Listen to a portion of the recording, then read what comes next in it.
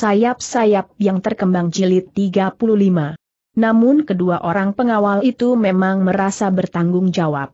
Di halaman itu tidak ada orang lain yang bertugas. Ada beberapa orang pengawal di Banjar. Namun keduanya tidak sempat memukul kentongan untuk memberi isyarat kepada petugas di Banjar. Kedua pengawal itu pun merasa heran, bahwa para pengawal di Regol juga tidak memberikan isyarat apa-apa.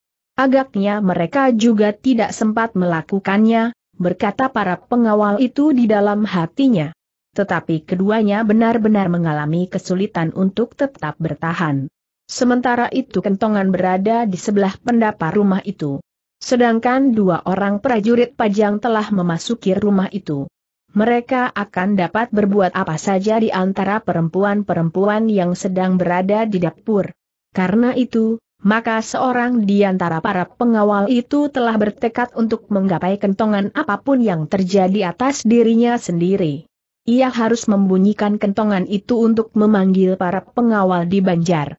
Tetapi ia sadar, bahwa pada saat yang demikian, maka lawannya itu mempunyai kesempatan yang sangat baik untuk menikamnya dengan senjatanya tetapi ia tidak mempunyai jalan lain untuk menyelamatkan rumah itu serta perbekalan yang ada di situ. Namun dalam pada itu, selagi orang itu bersiap-siap untuk meloncat berlari menggapai kentongan itu, maka yang sedang bertempur di halaman itu terkejut. Seorang prajurit pajang tiba-tiba saja telah terlempar dari pintu depan rumah itu dengan terbanting jatuh di pendapa. Belum lagi orang itu sempat bangkit maka seorang lagi telah terdorong dengan kerasnya. Bahkan kakinya telah terantuk tubuh yang sedang dengan susah payah untuk bangkit itu, sehingga orang yang kedua itu pun telah terlempar dan jatuh pula di pendapa rumah itu. Para prajurit pajang yang bertempur di halaman itu terkejut sehingga mereka telah meloncat mengambil jarak dari lawan-lawan mereka. Keduanya memang terkejut. Yang keluar dari pintu rumah itu kemudian ternyata adalah seorang perempuan yang agak gemuk. Namun perempuan itu memang memakai pakaian yang khusus. Tidak seperti kebanyakan pakaian orang-orang perempuan yang lain. Demikian orang itu berdiri di luar pintu, maka terdengar suaranya lantang, ayo berdiri. Kita bertempur dengan jujur. Aku akan melawan kalian berdua. Kedua orang prajurit yang terjatuh di halaman itu telah berusaha untuk bangkit. Demikian mereka berdiri, maka seorang di antara mereka mengumpat, Iblis kau. Kau telah mengejutkan kami. Jangan kau sangka bahwa kau memiliki sesuatu yang dapat kau banggakan terhadap kami selain kegilaanmu sehingga membuat kami terkejut. Perempuan itu adalah Bibi. Sambil bertolak pinggang Bibi berkata, aku adalah orang yang bertanggung jawab di sini. Karena itu, maka jika kalian ingin mengganggu kami, maka kalian akan berhadapan dengan aku. Kedua pengawal yang ada di halaman itu mulai berpengharapan. Mereka tahu bahwa Bibi adalah seorang perempuan yang memiliki kemampuan untuk bertempur. Bersama Bibi maka mereka akan mempunyai kesempatan lebih banyak. Setidak-tidaknya kedua orang prajurit pajang yang dua orang itu akan dihambat oleh Bibi sehingga mereka tidak akan dengan mudah mengacaukan tempat perbekalan serta tempat menyediakan makan dan minum bagi para pengawal tanah perdikan, meskipun untuk beberapa lamanya, perempuan-perempuan yang ada di rumah itu menjadi ketakutan. Sementara itu, kedua orang prajurit pajang yang ada di pendapa itu pun segera mempersiapkan diri. Mereka sadar bahwa mereka harus bekerja dengan cepat. Jika mereka berhasil menghancurkan tempat itu, maka tanah perdikan Sembojan akan kehilangan perbekalan yang disediakan bukan saja para pengawal tanah perdikan, tetapi juga bagi para prajurit yang datang dari Jepang untuk membantu tanah perdikan Sembojan mempertahankan dirinya. Tetapi sementara itu Bibi pun telah bersiap pula. Bahkan Bibilah yang telah melangkah maju. Namun seorang dari kedua orang prajurit itu telah meloncat menyerangnya dengan garang. Namun Bibi benar-benar telah bersiap menghadapi orang itu. Karena itu, maka dengan cepat ia telah mengelak namun sekaligus mengangkat kakinya terayun mendatar. Lawannya masih juga sempat mengelak. Bahkan seorang lawannya yang lain telah dengan cepat menerkamnya ke arah leher.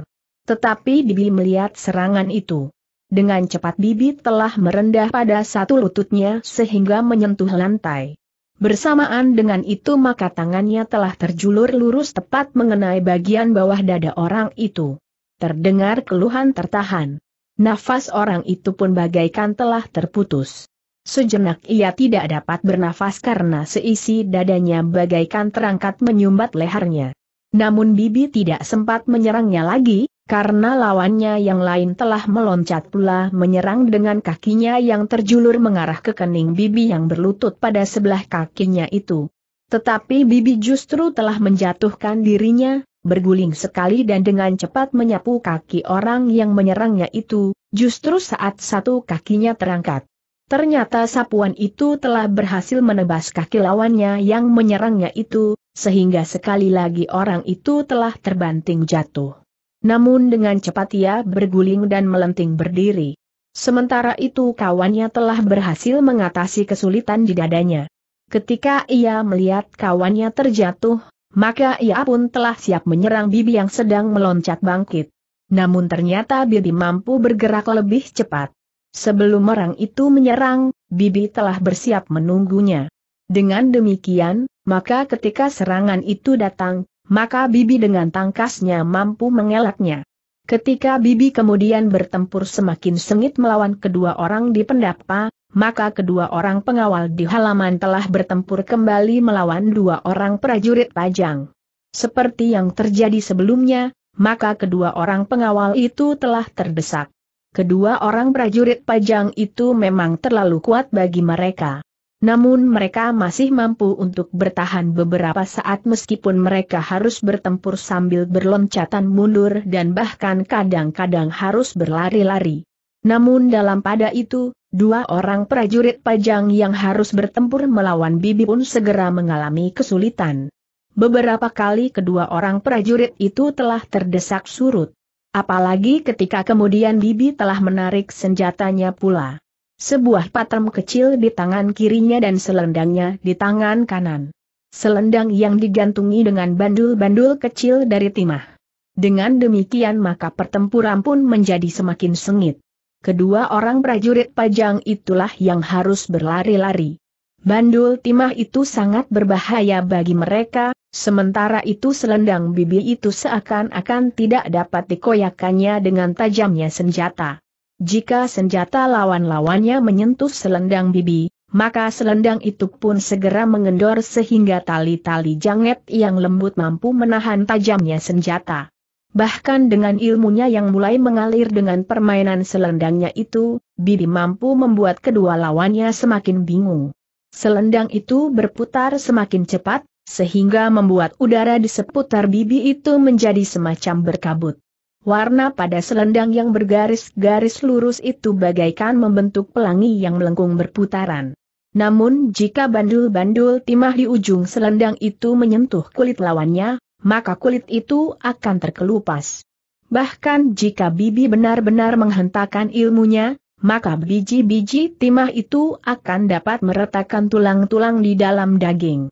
Beberapa saat kemudian, kedua orang prajurit pajang itu memang telah benar-benar terdesak. Keduanya bahkan tidak lagi bertempur di pendapa. Tetapi keduanya telah berloncatan turun ke halaman.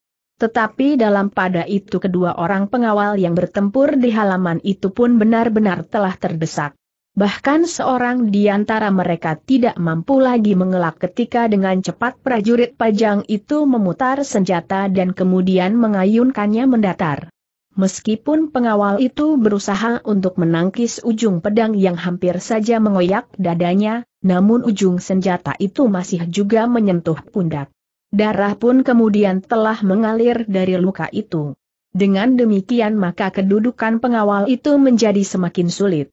Dalam keadaan yang demikian, maka kembali tumbuh niatnya untuk memukul kentongan meskipun punggungnya kemudian akan ditembus oleh ujung senjata lawannya. Tetapi sebelum ia melakukannya, maka ia sempat melihat seorang lawan Bibi telah terlempar. Ternyata Bibi sempat membelit orang itu dengan selendangnya.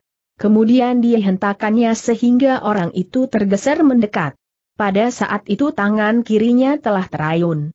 patrem kecil di tangan bibi itu telah menghunjam di dada prajurit pajang itu. Ketika kemudian bibi menarik selendangnya, orang itu terputar sejenak. Namun kemudian jatuh terguling di tanah. Lawannya yang seorang lagi menjadi gelisah. Namun tiba-tiba saja prajurit pajang yang telah melukai pengawal di pundaknya itu telah meninggalkannya. Ia tidak membiarkan seorang kawannya melawan bibi yang garang itu. Ternyata di tanah perdikan ini ada perempuan iblis macam kau, geram prajurit itu. Akulah yang dipanggil serigala betina, geram bibi. Agaknya pertempuran itu telah mengungkat kegarangannya yang sudah lama diendapkannya. Seorang lawannya telah terlempar dari arena. Tetapi lawannya kemudian kembali menjadi dua. Namun bibi pun agak menjadi lega. Jika prajurit itu tidak meninggalkan lawannya yang telah terluka, maka pengawal itu tentu akan dibunuhnya. Dengan demikian maka seorang di antara kedua prajurit pajang itu harus bertempur melawan dua orang pengawal. Tetapi seorang di antaranya telah terluka. Darah mengalir dari luka di pundaknya itu. Semakin banyak ia bergerak, maka luka itu pun menjadi semakin banyak mengalirkan darah. Sehingga dengan demikian, maka pengawal itu tidak banyak dapat memberikan bantuan. Karena itu, maka niatnya untuk memukul kentongan itulah yang kemudian menggerakkannya meninggalkan arena mendekati kentongan yang tergantung di sebelah pendapa itu. Tetapi Bibi yang melihatnya ternyata telah mencegahnya. Katanya, jangan bunyikan kentongan. Nanti di padukuhan ini akan timbul kebingungan. Tetapi prajurit-prajurit pajang itu, sahut pengawal itu. Kita akan menyelesaikan mereka, berkata Bibi. Kemudian, pengawal itu termangu-mangu sejenak. Namun ia pun kemudian yakin bahwa Bibi akan dapat menyelesaikan kedua lawannya setelah seorang di antara prajurit pajang itu terbujur diam. Karena itu, maka ia pun telah mengurungkan niatnya. Ia sependapat dengan Bibi. Jika ia membunyikan kentonang, maka seisi padukuhan itu tentu akan segera mengungsi. Mereka tentu mengira bahwa pasukan Pajang telah memasuki padukuhan mereka. Pengawal itu pun kemudian justru telah kembali bersama-sama dengan kawannya menghadapi seorang prajurit Pajang. Meskipun tenaganya sudah menjadi semakin susut, namun ia masih mampu mengganggu pemusatan perhatian lawannya itu. Namun setiap kali ia harus berloncatan mengambil jarak menekan lukanya yang berdarah. Tetapi kemudian pengawal itu telah melepas ikat kepalanya untuk menekan lukanya agar darahnya tidak semakin banyak mengalir. Prajurit pajang yang harus menghadapi dua orang itu masih tetap garang. Tetapi sekali-sekali ia harus bergeser mundur jika kedua lawannya itu menyerang bersamaan dari arah yang berbeda. Pengawal yang terluka itu memang tidak dapat bertempur sepenuhnya tetapi ternyata ia mampu menyesuaikan dirinya dengan keadaannya. Sementara itu kedua orang prajurit pajang yang bertempur melawan Bibi segera mengalami kesulitan. Selendang Bibi berputaran dengan cepatnya. Desir angin yang menampar tubuh lawannya meyakinkan kedua orang lawannya, bahwa perempuan yang menyebut dirinya itu. Serigala betina adalah benar-benar orang yang memiliki ilmu kanuragan. Sebenarnya lah Bibi tidak ingin melihat perempuan-perempuan di rumah itu menjadi semakin ketakutan. Karena itu, maka ia pun telah berniat untuk segera mengakhiri pertempuran itu. Karena itulah, dengan kegarangan seekor serigala betina, maka Bibi telah melanda kedua orang lawannya dengan ilmunya yang memang terpaut banyak dari kedua lawannya. Namun bagaimanapun juga ganasnya serigala betina itu, tetapi pengaruh pergaulannya dengan Iswari telah membuatnya sedikit berubah. Itulah sebabnya, maka ia tidak membunuh kedua orang prajurit pajang itu. Cukup seorang saja di antara mereka yang menjadi korban, berkata Bibi di dalam hatinya. Namun Bibi tidak mengetahui, bahwa para prajurit pajang itu telah membunuh dua orang pengawal di regol padukuhan. Karena itu, maka Bibi hanya berniat untuk membuat kedua orang lawannya itu tidak berdaya. Karena itu, maka bandul-bandul timah pada kedua ujung selendang Bibi itu pun berayun semakin cepat. Ketika bandul-bandul timah itu mengenai seorang di antara kedua orang prajurit itu pada punggungnya, maka tulang punggung prajurit itu rasa-rasanya menjadi patah. Sekali ia menggeliat. Namun ia pun kemudian telah jatuh berguling di tanah. Sementara itu, kawannya yang terkejut telah meloncat mundur untuk mengambil jarak. Tetapi Bibi bergerak lebih cepat. Selendang bibi telah terjulur dan langsung membelit kaki prajurit itu. Dengan satu hentakan. Maka prajurit itu pun benar-benar telah terbanting jatuh. Tubuhnya bagaikan batang pisang yang roboh terseret arus sungai. Bahkan kepalanya menjadi pening ketika pelipisnya telah membentur tanah yang keras di halaman. Meta prajurit itu menjadi kabur. Dengan susah payah ia berusaha untuk bangkit. Namun demikian ia berdiri, bandul-bandul timah pada ujung selendang bibi itu telah menghantam dadanya. Tulang-tulang iga orang itu bagaikan menjadi retak. Nafasnya pun menjadi sesak. Sejenak ia terhuyung-huyung. Namun kemudian ia sama sekali tidak mampu mempertahankan keseimbangannya. Ketika orang itu terjatuh dan berguling-guling karena nafasnya bagaikan tersumbat, maka prajurit Pajang yang bertempur melawan dua orang pengawal itu pun menjadi sangat gelisah. Meskipun seorang di antara para pengawal itu sudah terluka sedangkan yang lain tidak memiliki kemampuan yang dapat menyamainya, namun perempuan yang garang itu tentu akan segera masuk ke dalam lingkaran pertempurannya. Tetapi segala sesuatunya memang sudah terlambat. Sebelum ia sempat berbuat sesuatu, maka Bibi telah meloncat mendekati prajurit itu sambil berkata, kau tidak perlu lari. Jika kau berlari juga meninggalkan Arna ini, maka aku akan melemparmu dengan patrem ini. Punggungmu akan berlubang dan kau akan mati. Karena itu, sebaiknya kau menyerah saja. Prajurit itu memang tidak ada pilihan lain. Tiga orang di antara mereka pun kemudian telah diikat kaki dan tangannya serta ketiganya telah diikat pula dengan tiang di pendapa. Sedangkan seorang di antara para prajurit yang telah terbujur mati itu pun telah dibaringkan di pendapa itu pula. Tugasmu adalah mengubur kawan-kawanmu, berkata Bibi. Lalu katanya pula, tetapi biarlah dipanggil para pengawal yang lain untuk ikut mengawasimu. Namun Bibi pun kemudian masih sempat mengobati luka pengawal di pundaknya dan berkata, kau duduk saja di sini. Biarlah kawanmu pergi ke Banjar dan menengok para pengawal di pintu gerbang padukuhan. Para prajurit pajang yang merasa bahwa mereka telah membunuh pengawal padukuhan di Regol Induk, menjadi berdebar-debar. Jika pengawal itu mengetahui bahwa kedua kawannya telah terbunuh, mungkin para pengawal termasuk perempuan yang menyebut dirinya serigala betina itu akan bersikap lain. Pengawal yang seorang itu pun kemudian telah pergi ke Banjar Padukuhan untuk memanggil beberapa orang kawannya. Tetapi hanya ada beberapa pengawal saja di Banjar, sehingga pengawal itu telah minta bantuan beberapa orang laki-laki yang sudah melewati pertengahan abad yang tidak lagi dapat turun ke peperangan untuk membantu mengubur prajurit pajang yang terbunuh serta mengawasi para prajurit yang lain. Beberapa orang laki-laki tua itu memang langsung pergi ke rumah yang dipergunakan untuk menyediakan perbekalan itu, sedangkan pengawal yang telah bertempur dengan prajurit pajang itu telah pergi ke Regol.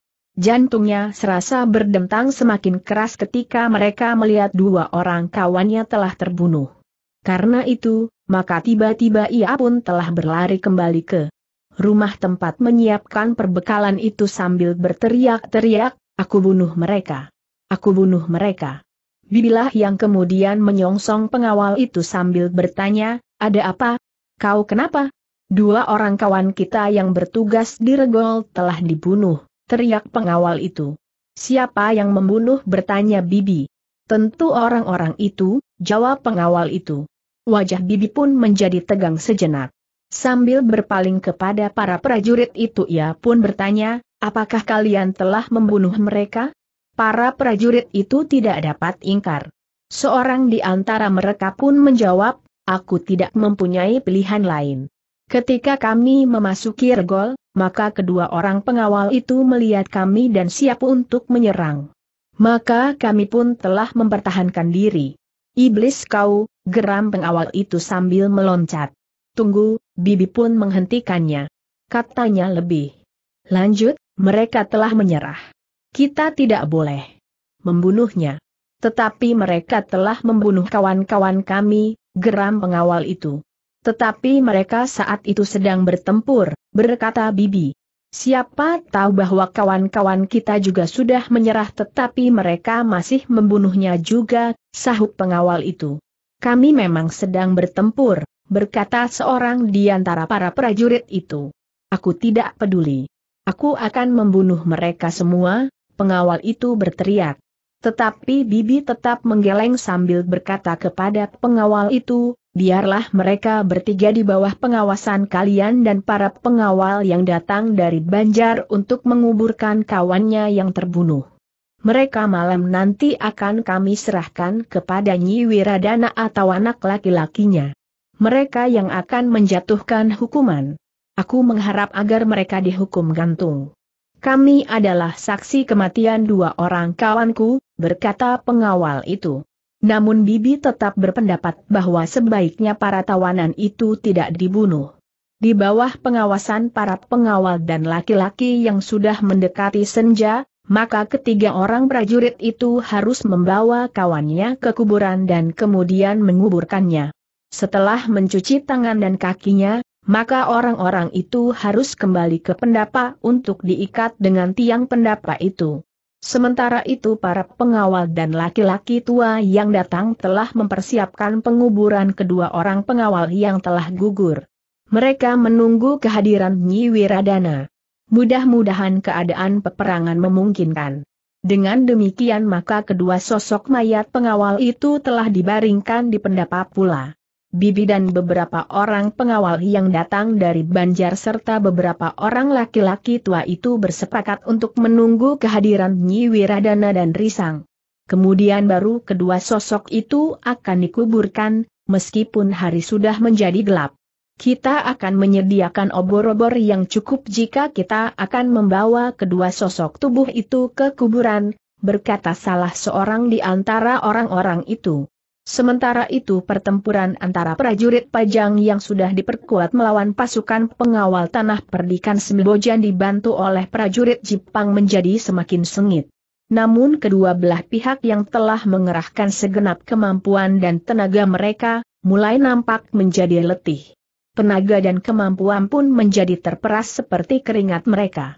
Ternyata bahwa prajurit Pajang yang dibawa oleh Kasada memang prajurit pilihan kemampuan mereka melampaui kemampuan prajurit-prajurit yang dibawa oleh Kirangga sebelumnya. Karena itu, maka pasukan Tanah Perdikan bersama-sama dengan pasukan dari Jepang, tidak segera dapat mendesak pasukan Pajang. Bahkan pasukan Pajang itu telah mampu mengguncang pertahanan Tanah Perdikan Sembojan. Kasada dan prajurit-prajuritnya yang tersebar benar-benar merupakan lawan yang berat bagi para prajurit Jepang yang ada di tanah perdikan Sembojan. Tetapi ketika pertahanan tanah perdikan Sembojan bergeser beberapa langkah surut, maka keseimbangan pun justru telah berubah dengan cepat. Pasukan Pajang itu terpaksa menghentikan dorongan mereka atas pasukan Sembojan. Rasa-rasanya goncangan-goncangan baru telah terjadi. Justru di beberapa tempat, Sambi Wulung dan Jati Wulung yang berada di ujung-ujung pasukan mulai tersinggung. Karena itu, maka mereka telah meningkatkan kemampuan mereka, sehingga sekelompok prajurit Pajang yang melawan mereka mengalami kesulitan. Sementara itu jumlah prajurit Pajang memang lebih sedikit dari jumlah pengawal Sembojan dan prajurit Jepang. Di induk pasukan, Gandar pun telah mendesak lawan-lawannya, sehingga dengan demikian, maka pasukan Pajang itu harus mulai memperhitungkan lawan mereka baik-baik. Beberapa orang dari tanah perdikan Sembojan telah menghisap perlawanan kelompok-kelompok lawan mereka, sehingga dengan demikian maka seakan-akan orang-orang yang berilmu tinggi dari tanah perdikan Sembojan itu telah menghisap prajurit-prajurit Pajang ke dalam satu lingkaran pertempuran yang sengit karena baik Sambi Wulung. Jati Wulung maupun Gandar telah bertempur dengan garangnya. Menghadapi kepungan lawan-lawannya maka mereka telah menyerang seperti angin pusaran yang berputar dengan dahsyatnya, sehingga setiap kali lawan-lawannya justru harus menyibak. Dengan demikian, maka kekuatan pasukan Pajang di beberapa lingkatan dengan cepat menyusut. Beberapa orang terlempar dari arena. Kawan-kawan mereka terpaksa membawa mereka menyingkir untuk menghindarkan kemungkinan yang lebih buruk lagi. Mereka yang bertugas untuk merawat orang-orang yang terluka menjadi semakin sibuk. Di ujung-ujung sayap, maka setiap kali orang yang terluka telah disingkirkan. Beruntun dan seakan-akan seperti air yang mengalir. Kasada yang terikat dalam pertempuran melawan Ki Lurah Sasaban memang sulit untuk bergeser. Namun Kasada berusaha untuk dapat mengetahui medan itu sejauh-jauh kemungkinan yang dapat dilakukan. Sebagai seorang prajurit yang memiliki ketajaman panggeraita, maka Kasada pun merasa bahwa pasukannya mengalami kesulitan untuk dapat maju mendesak pasukan tanah perdikan Sembojan yang diperkuat oleh pasukan dari Jepang. Betapapun prajurit-prajuritnya berusaha dengan sungguh-sungguh, namun terasa getaran benturan pasukan mereka justru sangat mendebarkan. Kirangga Larasgati sendiri masih saja mengalami kesulitan untuk mengalahkan Risang. Bahkan ternyata daya tahan risang yang jauh lebih muda dari Kirangga itu lebih besar dari daya tahan Kirangga sendiri. Pengalaman yang luas yang dimiliki oleh Kirangga ternyata tidak mampu mengatasi ilmu yang telah diwarisi oleh risang yang sedang dipersiapkan untuk menerima ilmu janget kinatelon. Bahkan semakin lama, semakin terasa oleh Kirangga, bahwa anak muda itu justru semakin mendesaknya. Di saat-saat Kirangga telah sampai ke puncak kemampuannya, Kirangga ternyata tidak mampu menguasai lawannya yang masih muda. Dengan demikian, maka Kirangga mulai merasa bahwa ia memang tidak akan dapat mengalahkan Risang. Yang dilakukannya kemudian adalah bertahan sejauh dapat dilakukan. Kirangga tinggal menunggu kemungkinan Risang melakukan kesalahan. Hanya jika Risang melakukan kesalahan, maka Kirangga akan dapat mengalahkan anak muda itu. Tetapi Risang ternyata memiliki penguasaan yang tinggi atas ilmunya. Pengalamannya pun telah memadai untuk menghadapi Kirangga Larasgati. Bahkan ketika Risang merasa bahwa Kirangga telah sampai pada batas kemampuannya serta daya tahannya, maka Risang justru telah meningkatkan serangan-serangannya. Kirangga mulai mengeluh di dalam hatinya. Di saat-saat ia sempat memperhatikan pertempuran antara para prajuritnya dengan para pengawal, maka ia melihat bahwa para prajurit Pajang pun nampaknya telah sampai ke puncak kemampuan mereka. Namun mereka sama sekali masih belum mampu mendesak pasukan pengawal tanah perdikan Sembojan, apalagi memecahkan pertahanannya dan menembus sampai ke padukuhan induk. Kegelisahan Kirangga itu ternyata telah membuatnya kadang-kadang tidak lagi mampu memusatkan perhatiannya menghadapi anak muda yang bernama Risang itu, sehingga beberapa kali ia harus meloncat surut. Namun getaran pertahanan pasukan tanah perdikan Sembojan mampu membuat para prajurit Pajang menjadi gelisah. Bahkan prajurit pilihan di bawah pimpinan Kasada pun merasakan tekanan yang semakin berat. Tetapi ketika matahari kemudian mulai turun, keseimbangan pertempuran mulai berubah lagi. Orang-orang Sembojan yang ikut dalam pertempuran itu, mulai menjadi letih. Mereka yang bukan pengawal penuh dari tanah perdikan memang tidak memiliki kemampuan dan ketahanan tubuh sebagaimana para pengawal, sehingga karena itu, maka mereka yang sudah bermandikan keringat tenaganya mulai menjadi susut. Sedangkan para prajurit pajang, terutama yang datang bersama Kasada masih nampak garang di antara ayunan senjata dan sorak yang mengguruh. Namun sejalan dengan itu, maka Sambi Wulung dan Jati Wulung telah berusaha untuk mengisi kelemahan itu dengan meningkatkan kemampuannya. Karena itu, maka hampir di luar sadarnya, maka Sambi Wulung dan Jati Wulung telah merambah ketataran ilmunya yang tinggi, sehingga sentuhan-sentuhan bukan saja senjatanya, tetapi tangan dan kakinya menjadi sangat berbahaya bagi lawan-lawannya. Gandar yang bertempur tidak terlalu jauh dari Risang pun merasakan perubahan keseimbangan di medan pertempuran itu. Meskipun perlahan-lahan, namun rasa-rasanya pasukan Pajang akan mendesak pasukan Tanah Perdikan Sembojan. Karena itu, seperti juga Sambi Wulung dan Jati Wulung, maka Gandar telah bertempur semakin keras. Gandar ternyata telah mempergunakan cara yang lain. Ia tidak menetap menghadapi sekelompok lawan-lawannya. Tetapi Gandar itu pun kemudian telah berloncatan di sepanjang garis benturan. Kehadiran Gandar di satu tempat, telah membuat para prajurit Pajang menjadi gelisah. Dengan demikian, maka tanah perdikan masih sempal mempertahankan diri, sehingga para prajurit Pajang tidak mampu memecahkan pertahanan itu. Beberapa orang pemimpin pasukan pengawal tanah perdikan itu seakan-akan telah menghisap lawan semakin banyak. Dalam pada itu, ternyata bahwa Kirangga Larasgati juga telah sampai pada puncak kemampuannya. Pada saat matahari mulai turun, maka Kirangga yang telah mengerahkan segenap kemampuan dan kekuatannya itu, benar-benar telah sampai ke batas.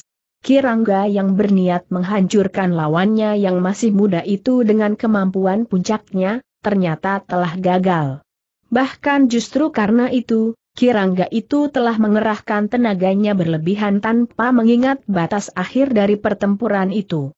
Dengan mengerahkan tenaganya, Kirangga berniat untuk dengan cepat mengakhiri perlawanan anak muda itu sebelum ia sampai ke batas puncak tenaganya.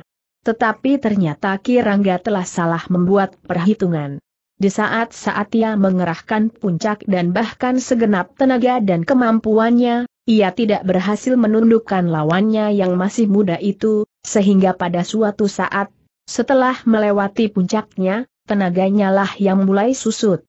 Sementara itu Kirangga telah mengumpat pula karena lawannya itu seakan-akan sama sekali tidak terpengaruh oleh keringatnya yang mengalir bagaikan diperas dari tubuhnya.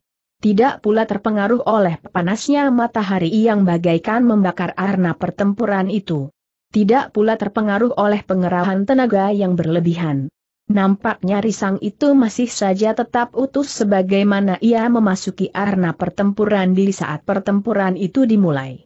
Karena itu, maka Kirangga Larasgati, seorang senapati prajurit pajang, ternyata mengalami kesulitan menghadapi seorang anak muda, anak pemangku jabatan kepala tanah perdikan Sembojan.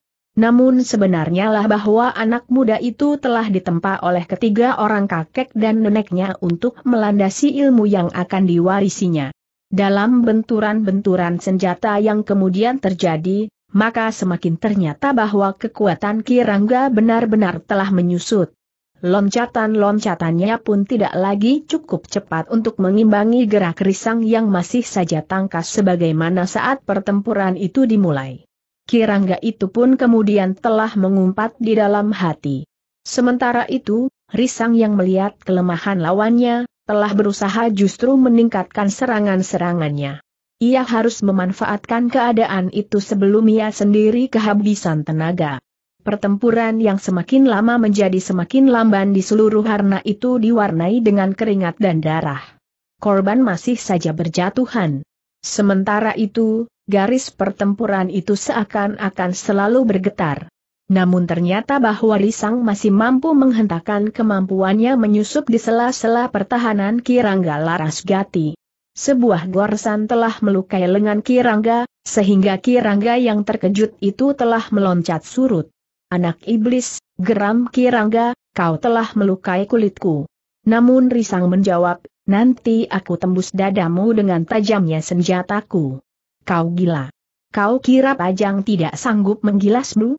Kau akan mendapat hukuman picis di alun-alun Pajang, geram Kirangga. Seandainya demikian, kau tidak akan sempat melihatnya karena kau akan mati di pertempuran ini, jawab Risang. Kau akan menyesal, teriak Kirangga, kau telah memberontak. Kau telah berkhianat. Kau adalah api yang menyalakan pemberontakan di tanah perdikan ini kau dan orang-orang tamak di Pajang berusaha memeras kami sebagaimana kalian lakukan atas tanah perdikan yang lain. Tanah perdikan yang kecil dan tidak berdaya tidak akan melakukan perlawanan. Tetapi tanah perdikan semujan lebih baik diratakan dengan tanah daripada melayani pemerasan sebagaimana kau lakukan, jawab Risang. Aku mengemban perintah, Kirangga masih berteriak. Kau tidak pernah dapat menunjukkan surat kekancingan atasmu bahwa kau melakukan perintah di tanah perdikan ini, jawab Risang. Persetan anak setan, bentak Kirangga. Pertempuran pun berlangsung semakin sengit. Pasukan Pajang dan pasukan Tanah Perdikan itu akhirnya saling mendesak. Kedua belah pihak memiliki kelemahan dan kekuatannya masing-masing. Namun akhirnya Kirangga harus berpikir berulang kali. Ia sendiri telah terluka. Darah mengalir semakin lama semakin banyak. Kirangga itu menyadari pengaruhnya. Tubuhnya akan dapat menjadi semakin lemah, sehingga akhirnya ia benar-benar akan dapat dibunuh oleh anak itu. Apalagi ia yakin bahwa prajurit pajang hari itu masih belum dapat mengalahkan pasukan pengawal tanah perdikan. Meskipun ia melihat bahwa beberapa orang tanah perdikan menjadi letih, tetapi para pengawal masih mampu mengimbangi para prajurit, sementara prajurit Jepang pun masih juga bertempur dengan keras. Apalagi di antara orang-orang tanah perdikan terdapat orang-orang berilmu tinggi, yang mampu menghisap sekelompok prajurit pajang, sementara jumlah prajurit pajang masih di bawah jumlah para pengawal tanah perdikan. Karena itu, maka tidak ada pilihan lain dari Kirangga Larasgati selain membuat perhitungan ulang dengan rencananya hari itu menembus sampai ke padukuhan induk. Apalagi ketika induk pasukan Pajang itu telah diguncang oleh kemarahan Gandari yang meledak-ledak, karena segores luka telah membekas di punggungnya. Luka itu tidak terlalu dalam, namun memanjang menyilang. Kemarahan Gandar memang menimbulkan persoalan yang sungguh-sungguh gawat bagi para prajurit pajang di induk pasukan itu, sehingga hal itu telah mempercepat keputusan Kirangga Larasgati untuk menarik pasukannya dari medan yang seakan-akan telah saling mendorong itu. Apalagi karena kemarahan Gandar itu nampaknya telah mempengaruhi para pengawal sehingga mereka yang mulai lelah, telah menjadi segar kembali.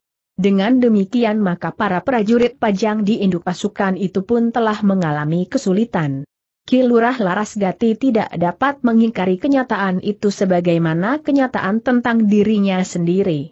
Sehingga karena itu, Makik ia pun segera memberikan isyarat kepada penghubung yang selalu berada di dekatnya. Dengan isyarat itu, maka penghubung itu pun segera mengetahui, bahwa Kirahga berniat untuk menarik pasukannya. Karena itulah maka penghubung itu pun telah meneriakan aba-abasan dibagi para pemimpin kelompok yang meneriakannya sambung bersambung sampai ke ujung sayap. Isyarat sandi itu berbeda dengan isyarat sandi pada saat Kirangga akan menarik pasukannya beberapa hari sebelumnya. Karena itu, maka para pemimpin dari tanah perdikan harus berusaha untuk mengerti dan kemudian menyesuaikan diri dengan perintah itu. Namun ternyata bahwa Kirangga telah memberikan isyarat kedua. Isyarat yang langsung memerintahkan pasukan Pajang itu mengundurkan diri. Ketika perintah itu sampai ke telinga Kasada, maka ia pun dapat mengerti. Perang itu tidak akan ada gunanya jika dilanjutkan pada hari itu juga selain membunuh beberapa orang korban di kedua belah pihak. Karena itu, maka Kasadap pun menganggap bahwa perintah Kirangga itu adalah perintah yang cukup bijaksana. Dengan gerakan pasukan yang matang menguasai ilmu perang gelar, maka pasukan Pajang pun mulai bergetar. Namun kemudian serempak pasukan itu bergerak mundur. Tetapi gerak mundur prajurit Pajang adalah gerak mundur yang teratur sambil melindungi diri mereka. Pasukan Tanah Perdikan memang mendesak terus. Tetapi seperti yang pernah terjadi, Risang tidak berani mengejar pasukan yang mundur itu keluar dari perbatasan tanah perdikan Sembojan. Apalagi menurut pengamatan Risang dan para pemimpin pengawal tanah perdikan, bahwa kekuatan Pajang itu masih cukup besar. Jika mereka menyiapkan semua orang yang ada di perkemahan orang-orang Pajang, termasuk para petugas di dapur dan perbekalan, maka kekuatan pasukan Pajang itu akan bertambah besar dengan tenaga-tenaga yang masih segar. Karena itu, maka Risang pun telah memberikan perintah untuk menghentikan pasukannya di perbatasan sebagaimana pernah diperintahkan oleh ibunya sebelumnya. Namun para pengawal tanah perdikan itu sempat bersorak gemuruh bagaikan hendak meruntuhkan langit ketika mereka berhenti di perbatasan. Beberapa orang memang merasa kecewa bahwa mereka tidak mendapat kesempatan untuk menyerang para prajurit Pajang sampai ke landasan pasukannya. Meskipun dengan demikian mereka keluar dari perbatasan, tetapi menyerang landasan perang bagi lawan adalah wajar sekali. Prajurit Pajang yang telah mundur dari pertempuran itu pun segera mendapat perintah untuk berkumpul dalam kelompok-kelompok masing-masing baik para prajurit yang datang lebih dahulu bersama Kirangga Larasgati maupun yang datang kemudian bersama Kasada. Sementara itu, kawan-kawan mereka yang terluka yang sempat dibawa mundur telah mereka baringkan di perkemahan dan mendapat perawatan sebaik-baiknya. Kirangga pun kemudian telah memanggil Kilurah Kasada dan setiap pemimpin kelompok untuk berdiri di hadapan pasukan mereka yang terpaksa mundur dari medan. Ternyata bahwa ada beberapa di antara pemimpin kelompok yang sudah tidak ada lagi. Ada yang telah terbunuh di peperangan dan ada yang terluka berat, sehingga tidak mampu lagi berdiri tegak di hadapan pasukannya. Dengan singkat Kirangga memberikan beberapa perintah. Kirangga juga memberikan alasan kenapa ia menarik pasukannya saat itu. Kita sudah kehilangan gelora di dalam hati kita untuk menang. Para prajurit sudah menjadi letih sebelum saatnya. Seharusnya kita tiapat bertahan dan bertempur sampai matahari terbenam. Tetapi ternyata hari ini kita tidak mencerminkan kegarangan prajurit-prajurit terpilih dari Pajang, Kirangga berhenti sejenak, lalu, tetapi besok kita akan bersikap lain. Besok kita akan berangkat ke Medan dengan semua orang yang ada kita hanya akan meninggalkan beberapa orang yang harus mampu menyelesaikan tugas menyediakan makan dan minum bagi para prajurit. Sementara itu, malam ini kita harus dapat memperbaiki jiwa di setiap dada para prajurit. Kita tidak boleh berjiwa kerdil. Tidak berani melihat darah yang tertumpah di medan. Apa artinya seorang prajurit yang tidak berani melihat darah, meskipun itu darahnya sendiri? Aku juga sudah terluka. Iblis kecil itu telah melukai aku. Tetapi aku tidak pernah merasa kalah, kirangga itu berhenti sejenak, lalu, tetapi aku bukannya kalian. Kalian bukannya aku, sehingga aku terpaksa mengambil kebijaksanaan menarik pasukan pajang ini mundur. Namun besok kita akan maju lagi. Kita tidak akan pernah mundur. Kita besok harus memasuki padukuhan induk tanah perdikan Sembojan. Kita akan menangkap pemangku jabatan kepala tanah perdikan Sembojan dan Kitu Menggung Jaladara dari Jepang. Yang juga tidak boleh lepas adalah anak pemangku jabatan kepala tanah perdikan itu. Aku sendiri yang akan memberinya hukuman. Para prajurit pajang itu mendengarkan sesorah dan perintah-perintah Kirangga dengan jantung yang berdebaran. Ternyata para prajurit itu sempat menyesali diri mereka sendiri. Mereka merasa kurang keras menghadapi lawan-lawan mereka sehingga pasukan tanah perdikan Sembojan dan apalagi para prajurit Jepang sempat memanfaatkan keadaan itu. Kirangga memang tidak berbicara terlalu panjang. Ia sadar bahwa para prajurit telah menjadi letih. Bahkan beberapa orang rasa-rasanya tidak kuat lagi berdiri. Baiklah, kalian boleh beristirahat dengan baik. Kalian telah menjadi letih.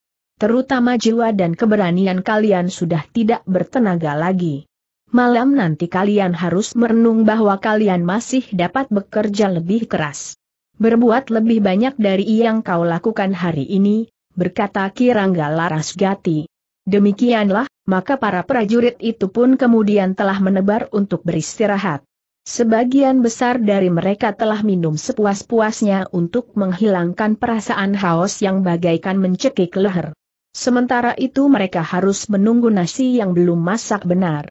Namun dalam pada itu, setelah Kirangga mengobati luka-lukanya, maka ia pun telah pergi ke dapur. Dengan keras ia membentak-bentak para petugas di dapur yang dinilainya bekerja terlalu lamban. Para prajurit itu memerlukan makan segera, teriak Kirangga. Tidak seorang pun berani menjawab. Semuanya telah menjadi semakin sibuk, apa pun yang mereka kerjakan. Tetapi para prajurit itu memang masih harus menunggu jika mereka tidak ingin makan nasi yang belum masak benar sehingga dapat membuat perut mereka menjadi sakit. Di saat senja turun, maka sebagian dari para prajurit itu telah pergi ke sungai untuk mandi.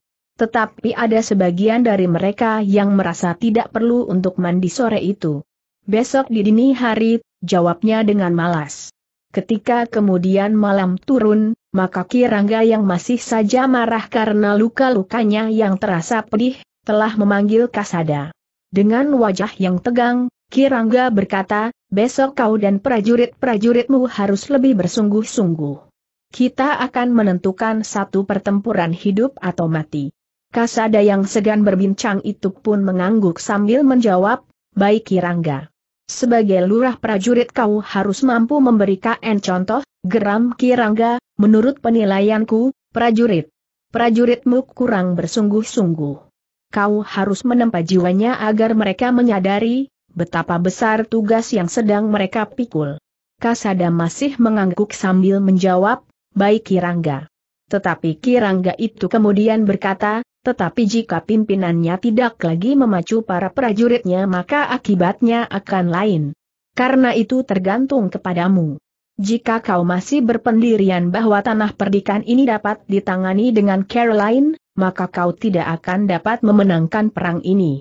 Jika kau bersikap sebagaimana sikapmu terhadap tanah perdikan gemantar atau bahkan dengan sengaja memberikan kesempatan kepada lawan untuk bernafas maka kalian tentu akan digelasnya sampai lumat. Kasada masih akan menahan diri. Tetapi dari dalam dadanya tiba-tiba saja bergejolak perasaannya yang melonjak, apakah Kirangga melihat bahwa prajurit-prajurit tidak bertempur dengan sungguh-sungguh? Kalian masih dapat meningkatkan kemampuan kalian. Karena keragu-raguanmu, maka semua prajuritmu ikut menjadi ragu-ragu.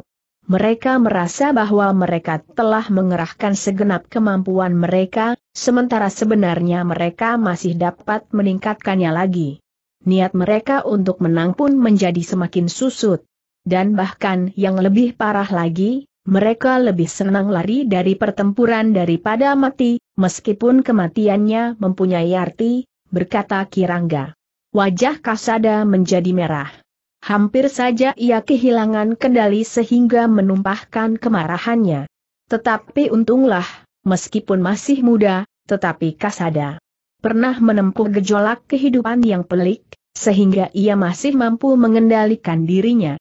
Meskipun demikian ia menjawab, Kirangga. Sebagai seorang senapati Kirangga sebenarnya harus mengetahui, apa yang dilakukan oleh prajurit-prajuritku. Aku tidak ingin merendahkan prajurit-prajurit dari kesatuan yang lain. Tetapi setidak-tidaknya prajurit-prajuritku tidak kalah dari mereka. Bagaimanapun juga menghadapi prajurit Jepang, prajurit-prajuritku telah berjuang dengan sekuat tenaganya dan kemampuannya.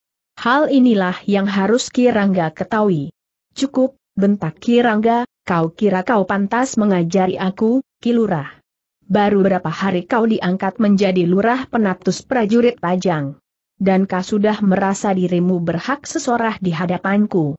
Kau lupa bahwa aku adalah rangga dalam tatanan keprajuritan Pajang.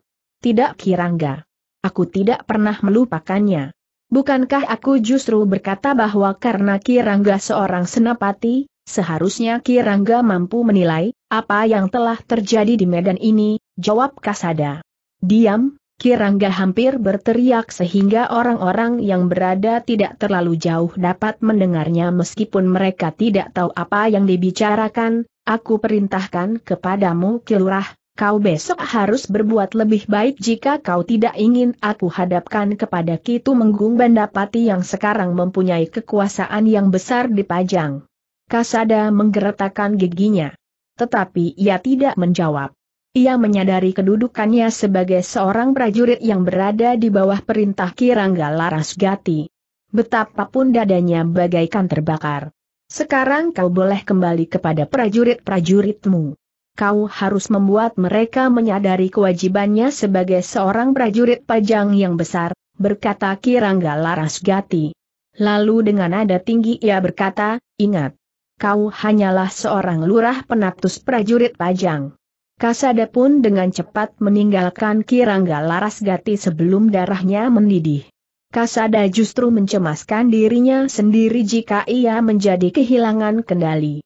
Karena itu, maka yang terbaik baginya adalah meninggalkan Kirangga itu secepatnya. Ketika Kasada kembali kepada prajurit-prajuritnya, maka yang dilakukannya pertama-tama adalah melihat mereka yang terluka. Namun tiba-tiba ia bertanya, kita harus menemukan kawan-kawan kita yang terbunuh di peperangan. Tiga orang telah kami kuburkan, jawab salah seorang pemimpin kelompok kepercayaan Kilurah Kasada itu. Jangan bodoh, sahut Kasada, aku yang memimpin upacara pelepasan. Pemimpin kelompok itu mengangguk-angguk. Tetapi sebenarnya ia memang belum selesai berbicara. Karena itu maka sejenak kemudian ia berusaha untuk menjelaskan, maksudku, selain tiga orang yang sudah kita kuburkan itu, ternyata masih ada delapan orang yang hilang, selain yang luka-luka. Kasada mengangguk-angguk. Namun tiba-tiba ia berkata, aku akan melihatnya di medan. Wajah pemimpin kelompok itu menjadi tegang. Katanya, itu akan sangat berbahaya. Tidak. Kita tidak akan berbuat curang. Kita mencari kawan-kawan kita. Jika masih ada di antara mereka yang hidup, maka mereka memerlukan sekali pertolongan, itu, jawab Kasada. Pemimpin kelompok itu termangu-mangu. Namun nampaknya Kasada tidak memperhatikannya sama sekali. Bahkan Kasada telah melangkah meninggalkannya. Kilurah, panggil pemimpin kelompok itu, Kilurah akan pergi sendiri? Jika Kilurah menemukan orang-orang terluka itu, apa Kilurah dapat membawanya? Aku hanya akan melihat. Tetapi menurut perhitunganku, seandainya ada yang terluka, maka mereka tentu telah dirawat oleh orang-orang tanah perdikan. Karena itu, maka aku juga akan pergi ke padukuhan itu, landasan garis perang pertama tanah perdikan Sembojan, jawab Kasada. Tetapi, apakah Kilurah tidak akan ditangkap bertanya pemimpin kelompok itu? Aku percaya bahwa orang-orang tanah perdikan Sembojan bukan pengecut yang bertindak licik. Bukankah aku juga pernah mengunjungi para pemimpin tanah perdikan sahut Kasada? Pemimpin kelompok itu hanya termangu-mangu. Sementara itu Kasada telah melangkah menembus kegelapan. Tetapi pemimpin kelompok itu tidak berani menyusul Kasada ke medan dan bahkan ke padukuhan. Mungkin Kasada pernah dikenal oleh orang-orang tanah perdikan, karena ia memang pernah datang berkunjung sebelum pertempuran terjadi. Tetapi ia sendiri akan dapat menimbulkan salah paham, bahkan mungkin akan dapat menyulitkan kelurah kasada sendiri. Karena itu, pemimpin kelompok itu hanya berdiri termangu-mangu. Ia menyadari, betapa gelisahnya perasaan kasada yang harus melakukan sesuatu yang tidak sesuai dengan nuraninya khususnya tentang tanah perdikan Sembojan. Sementara itu Kasada telah menelusuri jalan bulak menuju ke bekas medan yang menjadi gelap dan sepi. Kasada sendiri tidak yakin bahwa usahanya akan berhasil. Ia tidak akan dapat berbuat banyak di dalam gelapnya malam, di tanah persawahan yang terinjak-injak kaki para prajurit dan pengawal yang sedang bertempur untuk saling membunuh. Apakah mempertahankan satu keyakinan yang berbenturan dengan keyakinan yang lain itu harus diselesaikan dengan kekerasan? Pertanyaan itu tumbuh di dalam hatinya. Sementara itu ia pun menganggap bahwa satu keyakinan memang harus dipertahankan. Kasada tidak dapat menemukan jawabannya, sebagaimana ia ingin melihat bayangan di dalam kegelapan. Namun tiba-tiba Kasada itu terkejut ketika dua orang ternyata telah mengikutinya. Ketika ia berhenti dan berputar, maka kedua orang itu telah mengacukan tombaknya. Siapa kau bentak seorang di antara keduanya? Kasada memang ragu-ragu sebentar. Namun kemudian ia pun berkata, aku, Kasadeha, lejurah penatus prajurit pajang. Untuk apa kau datang kemari bertanya seorang di antara kedua orang itu? Aku akan melihat medan. Aku kehilangan delapan orang selain yang gugur belum terhitung para prajurit pajang dari kesatuan yang lain. Mungkin masih ada orang yang tertinggal di medan. Gugur atau terluka parah sehingga tidak dapat meninggalkan medan tanpa bantuan orang lain, jawab Kasada. Medan itu telah kami bersihkan, berkata orang itu, tidak seorang pun yang tertinggal. Kalian menemukan orang-orangku atau prajurit-prajurit pajang yang lain bertanya Kasada. Kau menjadi tawanan kami, berkata orang itu tiba-tiba. Tidak, jawab Kasada, aku datang tidak dalam rangkaian pertempuran. Aku datang untuk maksud-maksud lain dalam hubungannya dengan kemanusiaan. Tetapi kau memasuki daerah kami, berkata orang itu. Bawa aku kepada Risang, tiba-tiba Kasada justru membentak, aku akan berbicara dengan anak muda itu. Ia adalah contoh seorang laki-laki yang utuh. Besok kau akan kami bawa menghadapnya, jawab orang itu. Sekarang aku akan bertemu dengan Risang, Jawab Kasada, seperti kemarin aku juga dapat menemuinya tanpa kesulitan. Aku akan minta izin untuk melihat-lihat bekas medan pertempuran untuk mencari prajurit-prajuritku yang hilang. Malam ini Risang sedang beristirahat, jawab orang itu. Tidak. Aku tahu ia ada di padukuhan itu, berkata. Kasada, bawa aku kepadanya. Aku akan menerima keputusan apa pun yang dikatakannya tentang aku. Kedua pengawal itu ragu-ragu. Sementara seperti malam sebelumnya Kasada merentangkan tangannya sambil berkata, aku lurah penatus. Tetapi aku sekarang tidak bersenjata sama sekali. Kau akan kami bawa ke gardu induk. Terserah apa yang akan dilakukan atasmu oleh para pemimpin pengawal di gardu induk. Kasada tidak menjawab. Ia menurut saja perintah kedua orang pengawal yang membawanya ke gardu induk. Kasada memang menjadi termangu-mangu ketika ia melihat, di gardu induk itu terdapat pula beberapa orang prajurit Jepang. Ia sadar, bahwa sikap prajurit Jepang tentu berbeda dengan sikap para pengawal dari tanah perdikan Sembojan. Ketika kedua orang pengawal itu membawa Kasada masuk ke gardu induk, maka beberapa orang yang ada di dalamnya terkejut. Dua orang prajurit Jepang dengan serta Merta telah berdiri karena mereka melihat seorang prajurit pajang yang datang ke gardu itu. Kami menemukan di Bulak, di dekat bekas medan pertempuran siang tadi, lapor salah seorang di antara para pengawal itu. Masukkan ke dalam bilik tawanan, perintah pemimpin pengawal yang sedang bertugas, prajurit itu tentu mempunyai maksud tertentu. Tetapi besok baru kita sempat memeriksanya. Jantung Kasada menjadi berdebar-debar. Dengan lantang ia berkata, aku sengaja datang untuk menemui Risang. Aku kemarin juga datang ke padukuhan ini dan bertemu dengan Risang, bahkan dengan Nyi Wiradarta. Untuk apa kau akan menemui Risang malam ini bertanya salah seorang pemimpin pengawal. Aku akan berbicara dengan anak muda itu, jawab Kasada. Namun pemimpin pengawal itu sekali lagi berkata, masukkan orang itu ke dalam tahanan. Kita akan memeriksanya besok. Tetapi Kasada berkata pula, aku lurah penatus prajurit pajang. Aku tidak dapat kalian perlakukan seperti itu. Aku akan berbicara dengan risang. Kau tawanan kami. Siapa pun kau. Meskipun kau Kirangga Laras Gati, maka kau tidak dapat menolak, berkata salah seorang prajurit Jepang. Wajah Kasada menjadi tegang. Tetapi justru karena itu, maka suaranya menjadi semakin keras, aku akan bertemu dengan Risang. Jika kalian menghalangi aku malam ini, maka kalian tentu akan menyesal. Risang tentu akan menghukum kalian. Tetapi pemimpin pengawal itu berkata, kami menjalankan kewajiban kami. Kasada hampir kehilangan hayapan. Satu-satunya jalan adalah menghentakkan dirinya dan berlari meninggalkan tempat itu keluar dari padukuhan dan menghilang di dalam gelap.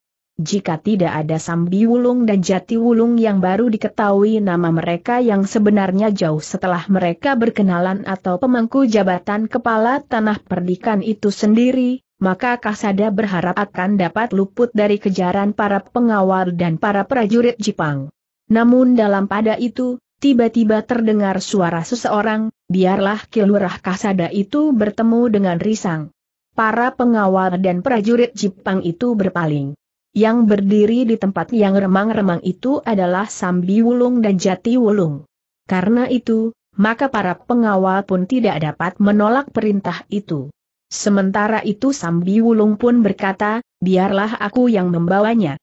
para pengawal dan prajurit Jepang yang ada di gardu itu pun kemudian telah menyerahkan Kasada kepada Sambi Wulung dan Jati Wulung untuk dibawa ke Banjar, karena Risang memang berada di Banjar.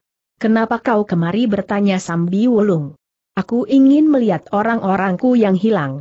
Apakah mereka masih berada di Medan atau berada di sini? Jawab Kasada. Kami merawat beberapa orang prajurit Pajang yang terluka. Kami pun telah menguburkan empat sosok mayat prajurit Pajang, jawab Sambi Wulung. Kasada menarik nafas dalam-dalam. Ia memang sudah mengira bahwa orang-orangnya yang terluka atau yang terbunuh telah dirawat oleh orang-orang tanah perdikan. Tetapi ada semacam dorongan yang tidak terlawan yang memaksanya untuk pergi ke padukuhan itu. Ketika Sambi Wulung dan Jati Wulung sampai ke Banjar bersama Kasada, maka Risang memang terkejut. Kau desis Risang. Kasada menarik nafas dalam-dalam. Tetapi sebelum ia menjawab, maka Risang pun berkata, marilah, silahkan duduk. Kau masih belum beristirahat bertanya Kasada. Aku masih harus menyelesaikan beberapa persoalan. Jawab Risang. Namun ia pun telah bertanya, kau juga belum beristirahat? Aku kehilangan beberapa orang prajuritku, jawab Kasada. Kau mencarinya bertanya risang. Ya, aku ingin mengetahui nasibnya, jawab Kasada. Beberapa orang telah kami ketemukan, jawab risang. Aku mengucapkan terima kasih, jawab Kasada, aku ingin bertemu dengan mereka. Risang termangu-mangu. Dengan nada rendah ia berkata, mereka adalah tawananku. Aku tahu.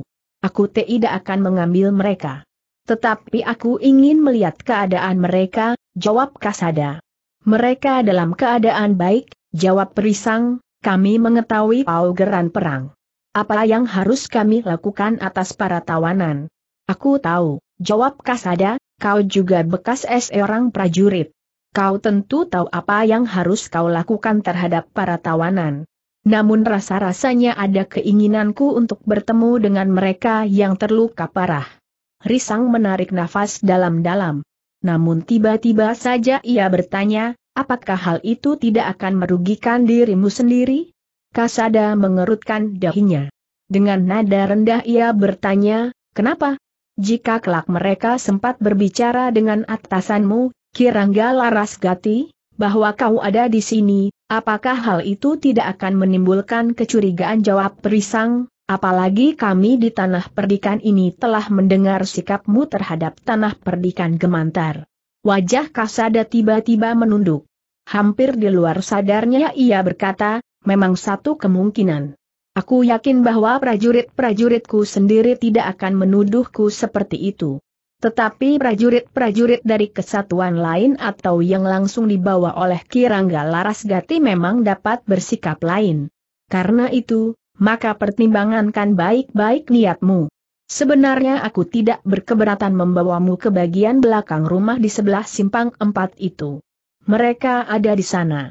Aku tidak tahu apakah mereka prajurit-prajuritmu atau justru prajurit yang berada langsung di bawah perintah Kirangga Larasgati, berkata Risang kemudian. Kasada menarik nafas dalam-dalam. Katanya, baiklah. Aku tidak akan melihat mereka. Tetapi aku minta izin kepadamu untuk sekali lagi meneliti bekas medan itu. Apakah masih ada orang yang tercecer? Kami telah melihat dengan teliti, jawab Risang. Aku akan menelusuri garis mundur pasukan Pajang, desis Kasada, mungkin di seberang garis perbatasan masih ada yang tertinggal. Bukankah para pengawal tanah perdikan ini tidak mencarinya di seberang perbatasan? Risang mengangguk-angguk. Katanya, marilah. Aku antar kau sampai ke perbatasan. Tidak perlu kau sendiri Risang, sahut Kasada. Tetapi Risang berkata, biarlah aku mengantarmu. Kau tidak akan diganggu oleh siapa pun. Kasada tidak dapat menolak. Risang pun kemudian telah berbenah diri sambil berkata, marilah. Kita memerlukan waktu untuk beristirahat. Karena itu, kau jangan sampai terlalu malam tinggal di sini. Keduanya pun kemudian telah keluar dari Banjar. Kepada Sambi Wulung dan Jati Wulung Risang memberikan beberapa pesan, jika ibu bertanya, Katakan bahwa aku mengantar Kasada ke perbatasan. Sambi Wulung memandang Risang dengan ragu. Bagaimanapun juga ia agak mencemaskan keselamatannya.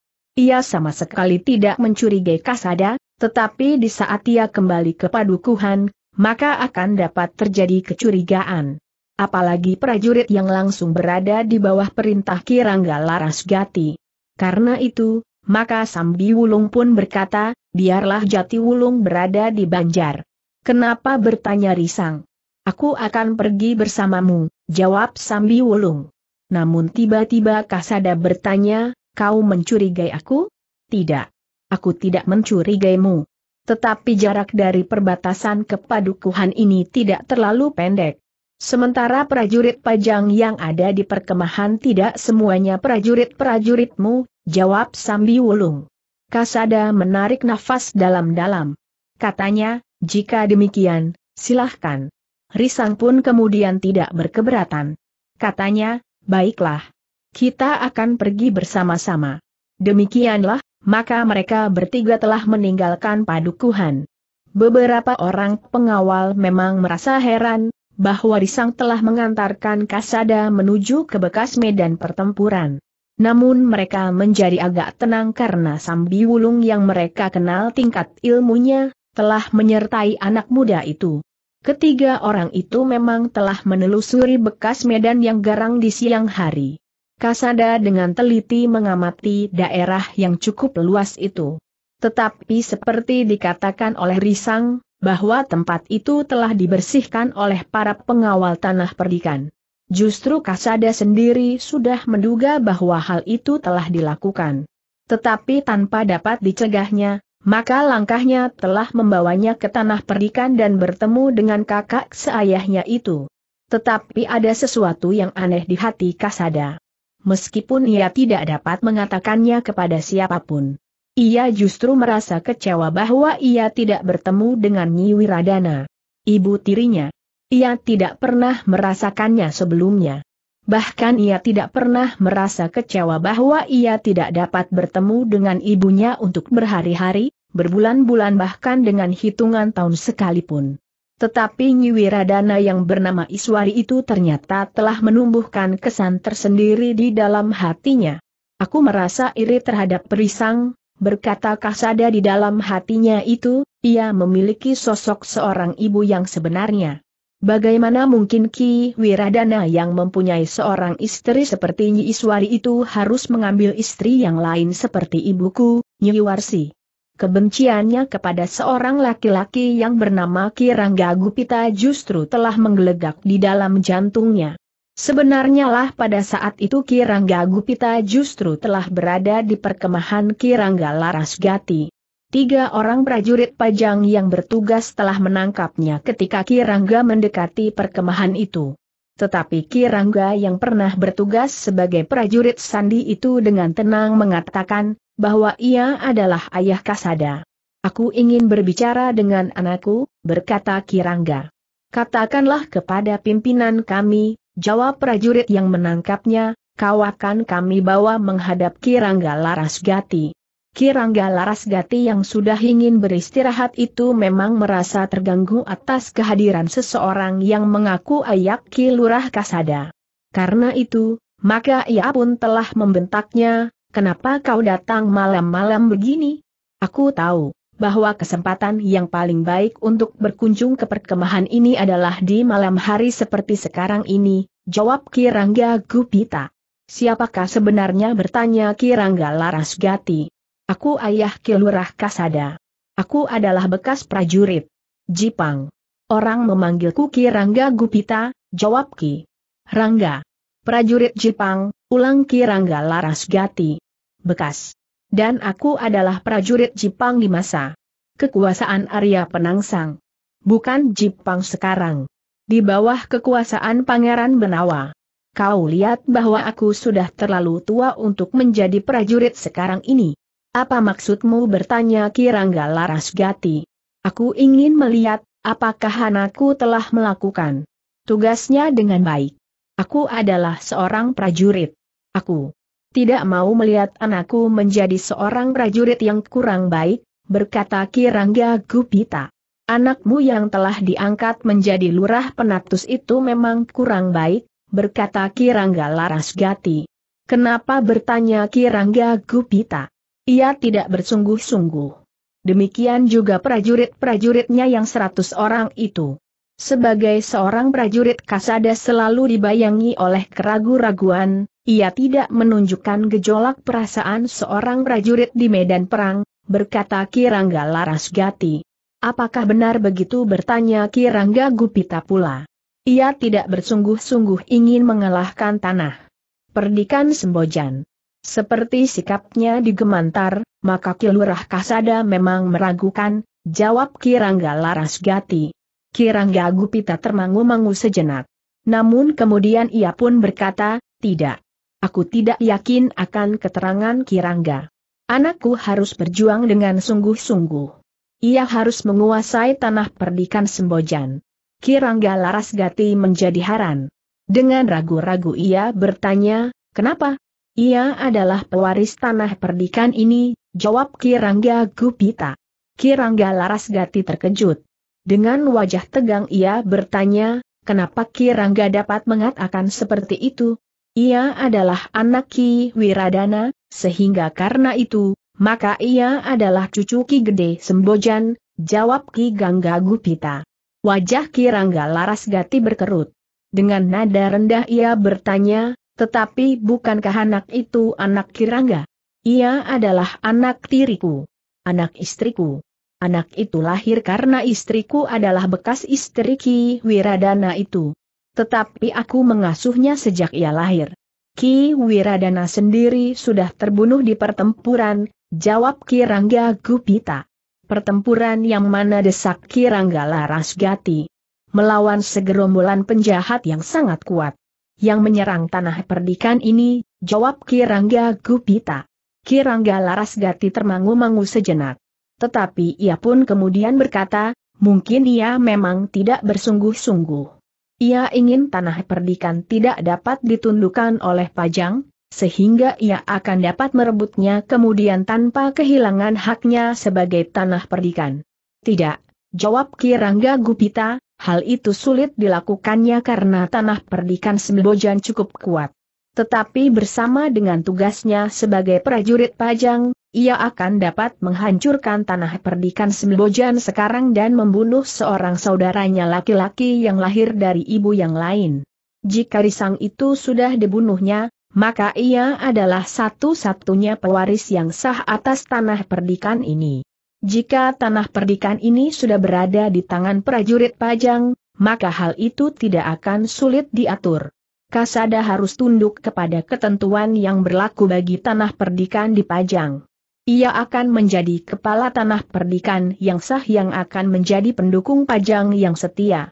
Wajah Kirangga Larasgati nampak membayangkan kebimbangan. Tetapi Kirangga Gupita berkata selanjutnya, Kirangga harus yakin bahwa anak itu akan dapat menyelesaikan tugasnya dengan baik. Ia akan membunuh Risang dan bahkan Iswari, istri tua Ki Wiradana. Namun dalam pada itu, Kasada dan Risang telah berada di perbatasan bersama Sambi Wulung. Tidak ada kesan permusuhan pada kedua orang saudara seayah tetapi berbeda ibu itu. Keduanya ternyata memiliki jiwa besar memandang kenyataan hidup yang harus mereka jalani. Kesalahan orang-orang tua mereka, bukan kesalahan mereka. Betapapun orang tua mereka terlibat ke dalam benturan persoalan yang rumit, tetapi baik Kasada maupun Risang tidak pernah saling mendendam. Bahkan meskipun mereka berdiri berseberangan dalam pertempuran yang telah menelan korban itu. Aku akan kembali ke barak, Risang, berkata Kasada kemudian. Besok aku tetap akan berada di induk pasukan, berkata Risang dengan suara bergetar. Aku tidak. Aku tidak akan berada di induk pasukan meskipun Kirangga memerintahkan hal itu, jawab Kasada. Risang mengangguk kecil. Sementara Kasada pun telah menyeberangi perbatasan. Sepanjang garis mundur prajurit Pajang, Kasada masih juga memperhatikan, barangkali ada prajurit yang terlampaui tidak mendapat perawatan karena keadaan. Para pengawal tidak akan mencapai tempat itu, Sementara para prajurit pajang tidak pula memberikan perhatian khusus. Ternyata Kasada benar-benar menemukan seorang prajurit yang terluka yang merintih di antara pepohonan di Tanggul Parit. Nampaknya prajurit itu berusaha untuk dapat minum meskipun sekedar air dari parit. Tetapi haus yang mencekik lehernya sudah tidak tertahankan lagi. Dengan hati-hati Kasada mendekati orang itu. Ketika ia yakin maka ia pun segera berjongkok di dekatinya sambil berdesis, kau terluka. Tanda petik. Orang itu seperti bermimpi. Antara sadar dan tidak ia merasakan tangan-tangan yang kuat mencengkamnya. Kemudian menariknya dari antara gerumbul-gerumbul di tanggul parit itu. Marilah, berkata Kasada, aku bantu kau kembali ke barak. Orang itu sudah demikian lemahnya. Namun ia masih tetap hidup. Suara Kasada seakan-akan telah membangkitkan harapannya sehingga kekuatannya seakan-akan telah tumbuh kembali, meskipun sekedar untuk dapat bertahan. Dengan susah payah Kasada telah memapah orang itu menempuh jalan kembali ke perkemahan. Sementara itu, Kasada masih juga memperhatikan keadaan di sekitarnya. Ia masih mencari jika ada orang lain lagi yang tertinggal. Tetapi agaknya sudah tidak ada orang lain yang masih berada di bekas medan pertempuran itu selain yang telah ditolongnya. Selangkah demi selangkah keduanya berjalan menuju ke perkemahan yang sudah menjadi semakin sepi. Sementara itu, Kirangga Larasgati yang sedang berbicara dengan Rangga Gupita telah memerintahkan kepada prajurit yang bertugas untuk memanggil Kasada. Panggil Kilurah. Katakan, Ayahnya ada di sini dan sedang menunggunya, perintah Kirangga Laras Gati. Prajurit itu mengangguk. Ia pun segera pergi ke perkemahan Kasada. Pada saat itulah Kasada datang dengan membawa seorang prajurit yang terluka. Prajurit itu memang bukan prajurit dari kesatuan Kasada. Tetapi prajurit itu adalah prajurit Pajang. Ketika perintah Kirangga Laras Gati disampaikan kepada Kasada, maka jantungnya justru menjadi berdebar-debar. Ia sama sekali tidak mengharapkan kedatangan ayah tirinya itu. Kebenciannya benar-benar telah memuncak. Namun Kasada masih berusaha untuk menahan diri. Tetapi Kasada masih harus menyerahkan orang yang terluka itu lebih dahulu, baru kemudian ia pergi menghadap Kirangga Laras Gati. Para prajurit yang melihat usaha Kasada menolong orang-orang yang tertinggal di medan memang merasa kagum. Lurah Penatus yang masih muda itu ternyata seorang pemimpin yang benar-benar bertanggung jawab. Tidak seorang pun yang berbuat seperti yang dilakukan oleh Kilurah, desis seorang pemimpin kelompok prajurit yang langsung berada di bawah perintah Kirangga Laras Gati. Namun bagi prajurit-prajuritnya sendiri, tindakan itu telah melengkapi sederetan langkah yang mereka kagumi sebelumnya. Ketika prajurit itu kemudian diterima oleh para petugas yang akan merawatnya, prajurit itu masih sempat berdesis, terima kasih Kilurah. Kilurah Kasada menepuk bahu prajurit yang terluka cukup parah itu sambil berkata, kau akan cepat sembuh. Prajurit itu telah menitikan air matanya. Di luar sadarnya ia berkata, Aku juga mempunyai seorang anak laki-laki. Kasada tersenyum. Katanya, beristirahatlah dengan baik. Aku akan menghadap Kirangga Laras Gati. Demikianlah, maka sejenak kemudian Kasada telah menghadap Kirangga Laras Gati. Orang yang menyebut dirinya ayahnya telah berada di tempat itu pula. Demikian Kasada duduk, maka Kirangga pun telah bertanya, kenapa pakaianmu terlalu kotor? Apakah kau tidak sempat membenahi diri setelah kau kembali dari medan pertempuran. Bukankah aku sudah menghadap Kirangga? Justru Kasadalah yang ganti bertanya. Ya, jawab Kirangga, jadi kenapa? Dengan singkat Kasada memberikan laporan tentang seorang prajurit yang telah diketemukannya. Tetapi ia sama sekali tidak memberikan laporan tentang kepergiannya ke padukuhan pertama di tanah perdikan Sembojan kau telah melakukan sesuatu yang berbahaya, berkata Kirangga Laras Gati, ada kemungkinan bahwa kau disergap oleh orang-orang tanah perdikan. Aku berada di luar perbatasan tanah perdikan itu, jawab Ki Lurah Kasada. Mereka adalah orang-orang yang licik tanpa menghormati hak dan wewenang orang lain, berkata Kirangga Larasgati. Kasada tidak menjawab. Sekilas ia memandang kepada Kirangga Gupita. Namun ia pun kemudian telah menundukkan kepalanya. Kirangga Larasgati memberimu petunjuk. Sebagai pimpinan yang memiliki pengalaman yang jauh lebih luas dari pengalamanmu, maka Kirangga melihat kemungkinan itu, berkata Kirangga Gupita. Kasada masih berdiam diri. Dalam pada itu, Kirangga Larasgatilah yang kemudian bertanya, Kasada. Menurut Kirangga Gupita, kau adalah satu di antara dua pewaris sah tanah perdikan Sembojan. Kenapa kau tidak pernah mengatakan hal itu kepadaku sebelumnya? Kasada benar-benar terkejut mendengar pertanyaan itu. Ternyata Kirangga Gupita telah menceritakan keadaannya dan latar belakang kehidupannya. Setidak-tidaknya dalam hubungannya dengan tanah perdikan Sembojan. Hampir saja Kasada kehilangan kendali. Tentu Kirangga Gupita lah yang telah menceritakannya kepada Kirangga Larasgati dengan pamrih tertentu. Namun untunglah, bahwa ia masih dapat menekan gejolak perasaannya itu. Ia tidak ingin membuat keributan di perkemahan prajurit pajang itu. Kasada, berkata Kirangga Larasgati, jika demikian maka kesempatan ini adalah kesempatan yang paling baik bagimu. Kesempatan yang mungkin tidak akan pernah kau dapatkan lagi. Dengan kekuatan prajurit pajang, maka kau harus dapat merebut tanah perdikan itu. Seperti dikatakan oleh Kirangga Gupita, jika kau berhasil membunuh Risang, maka kau akan menjadi satu-satunya pewaris yang sah atas tanah perdikan ini. Kasada termangu-mangu. Tetapi ia tidak menjawab. Kasada, berkata Kirangga Larasgati selanjutnya besok kita akan melanjutkan pertempuran melawan orang-orang tanah perdikan Sembojan. Aku telah memerintahkan bukan saja para prajurit, tetapi semua orang yang ikut dalam pasukan ini. Aku telah memerintahkan orang-orang yang selama ini bertugas di dapur untuk ikut bertempur. Prajurit cadangan yang ada di perkemahan harus turun pula ke medan. Aku berharap bahwa dengan gelora yang tinggi, maka besok kita benar-benar akan dapat memecahkan pertahanan orang-orang tanah perdikan Sembojan. Adalah tugasmu untuk membunuh Risang serta ibunya, Kirangga Larasgati berhenti sejenak. Lalu katanya pula, selanjutnya kita dapat mengatur kemungkinan baru bagi tanah perdikan ini. Kau dapat mengundurkan diri dari dunia keprajuritan dan memerintah tanah perdikan Sembojan di bawah perlindungan prajurit pajang. Kasada menarik nafas dalam-dalam. Tetapi ia masih saja berdiam diri. Besok kau bersamaku di induk pasukan. Kita berdua tentu dapat membunuh Risang yang telah dua kali berhadapan dengan aku.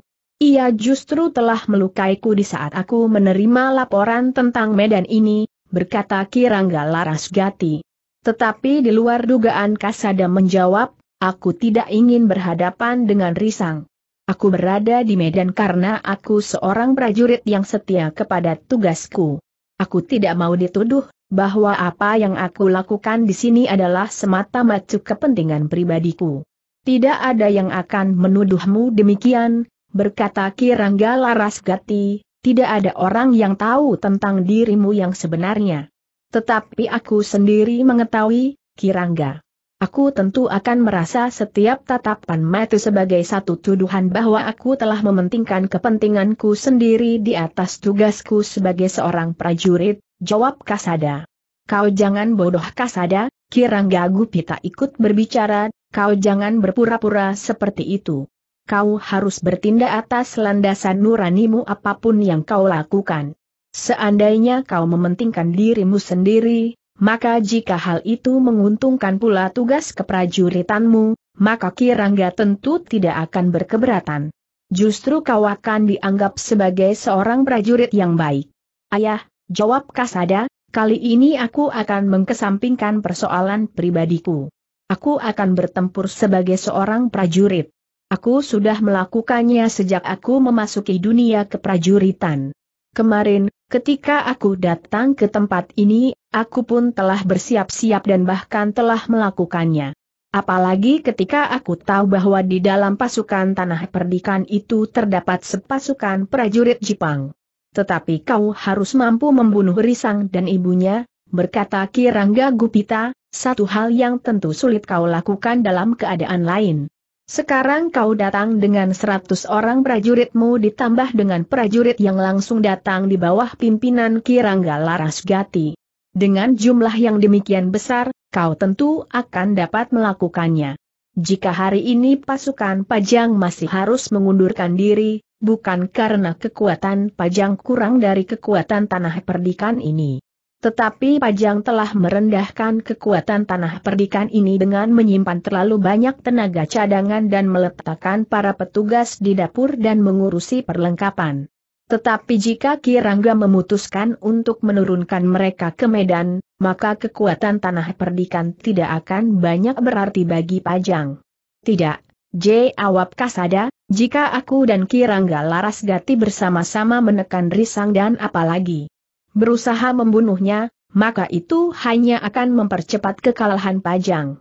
Seharusnya kita lebih dahulu mengurangi jumlah kekuatan tanah perdikan sebanyak-banyaknya. Seandainya kita tidak membunuh mereka, maka dengan melukai mereka, maka kekuatan tanah perdikan akan menjadi susut. Kenapa kau menganggapnya demikian bertanya Kirangga Larasgati, menurut pengalamanku, jika pimpinan tertinggi satu pasukan telah terbunuh, maka pasukan itu akan menjadi kehilangan tumpuan dan dengan mudah akan dapat dikalahkan. Tetapi berbeda dengan pasukan tanah perdikan Sembojan, jawab Kasada, di tanah perdikan Sembojan, pimpinan tertinggi yang sebenarnya tidak turun ke medan. Nyi Wiradana dan Kitu Menggung Jaladara berada di belakang medan pertempuran. Jika Risang terbunuh atau terluka, maka keduanya akan segera menggantikan kedudukannya dan semua orang tahu bahwa ilmu Nyi Wiradana itu tidak akan dapat ditandingi oleh siapa pun juga. Bahkan oleh sekelompok besar prajurit pajang sekalipun. Demikian pula Kitu Menggung Jaladara.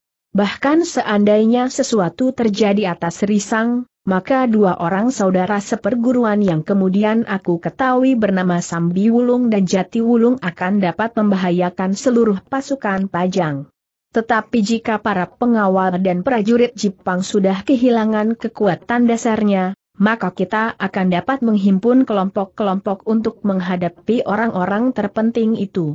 Karena kelompok-kelompok itu tidak akan terganggu oleh para pengawal tanah perdikan yang jumlahnya menjadi semakin sedikit sebelum hal itu disadari oleh pimpinan tertinggi tanah perdikan. Karena itu, maka yang harus kita lakukan secepat-cepatnya adalah mengurangi kekuatan dan jumlah para pengawal tanah perdikan, terutama para prajurit Jepang. Kirangga Larasgati mengangguk-angguk, ia sebenarnya dapat mengerti alasan Kasada. Tetapi Kirangga Gupita telah menjawabnya lebih dahulu, tetapi kau harus membunuh Risang dan Nyi Wiradana. Harus. Kau tidak mempunyai pilihan lain. Kasada memang menjadi tegang. Tetapi yang memegang perintah di perkemahan itu bukan Kirangga Gupita, melainkan Kirangga Larasgati. Sementara itu Kirangga Larasgati memang memikirkan kemenangan Pajang di atas segala kepentingan. Namun Kirangga Larasgati itu pun kemudian berkata, baiklah. Apa yang dianggap penting oleh Kasada, biarlah dilakukannya. Aku memandangnya sebagai seorang lurah penatus prajurit pajang. Ia harus bertempur dengan bersungguh-sungguh. Kita besok harus dapat memecahkan pertahanan tanah perdikan. Semua prajurit cadangan akan aku kerahkan, sehingga jumlah kita akan bertambah-tambah. Jika besok kita gagal lagi, maka kita akan menunggu tiga hari lagi, karena kita akan memanggil lagi prajurit dari Pajang. Tidak tanggung-tanggung. Semakin banyak semakin baik. Kita akan menggelas tanah perdikan menjadi debu. Wajah Kasada memang menegang. Tetapi ia tidak dapat mencegah hal itu jika Kirangga Larasgati memang akan melakukannya. Namun dalam pada itu, Kirangga Gupita berkata dengan lantang, kau jangan bodoh kasada. Kau harus melakukannya. Jika kau tidak mau melakukannya karena alasan apa pun juga, aku akan menawarkan diri kepada Kirangga Larasgati, bahwa aku akan mendampinginya di Medan, dengan tugas khusus, membunuh Risang dan Nyi Wiradana. Apa ayah merasa mampu membunuh Nyi Wiradana bertanya Kasada. Bahkan karena jantungnya telah menggelegar semakin keras, maka ia pun berkata, bukankah ibu saja tidak mampu membunuh Nyi Wiradana? Sedangkan kemampuan ayah masih jauh di bawah kemampuan ibu. Setan kau, geram Kirangga Gupita, kau jangan merendahkan aku. Aku adalah seorang rangga yang pernah bertugas dalam pasukan Sandi Jipang. Seandainya aku tidak mampu membunuh Nyi Wiradana, maka aku dapat mempergunakan akal dan pengalamanku di antara sekian banyak prajurit pajang. Aku tidak akan menantang Wiradana untuk berperang tanding sebagaimana dilakukan oleh ibumu yang keras hati itu tetapi aku akan mempergunakan kemampuan keprajuritanku serta pengalamanku sebagai petugas sandi di Jepang. Kasada hanya dapat menggeretakkan giginya. Tetapi ia tidak menjawab. Namun dalam pada itu Kirangga Larasgati di luar sadarnya bertanya, apakah Nyiwiradana benar-benar seorang yang berilmu sangat tinggi? Ya, jawab Kirangga Ge Upita dengan serta-merta, ia memiliki ilmu yang seakan-akan berada di luar penalaran. Ia mampu mengalahkan orang-orang yang dianggap mumpuni dalam olah kanuragan. Aku tidak mengira.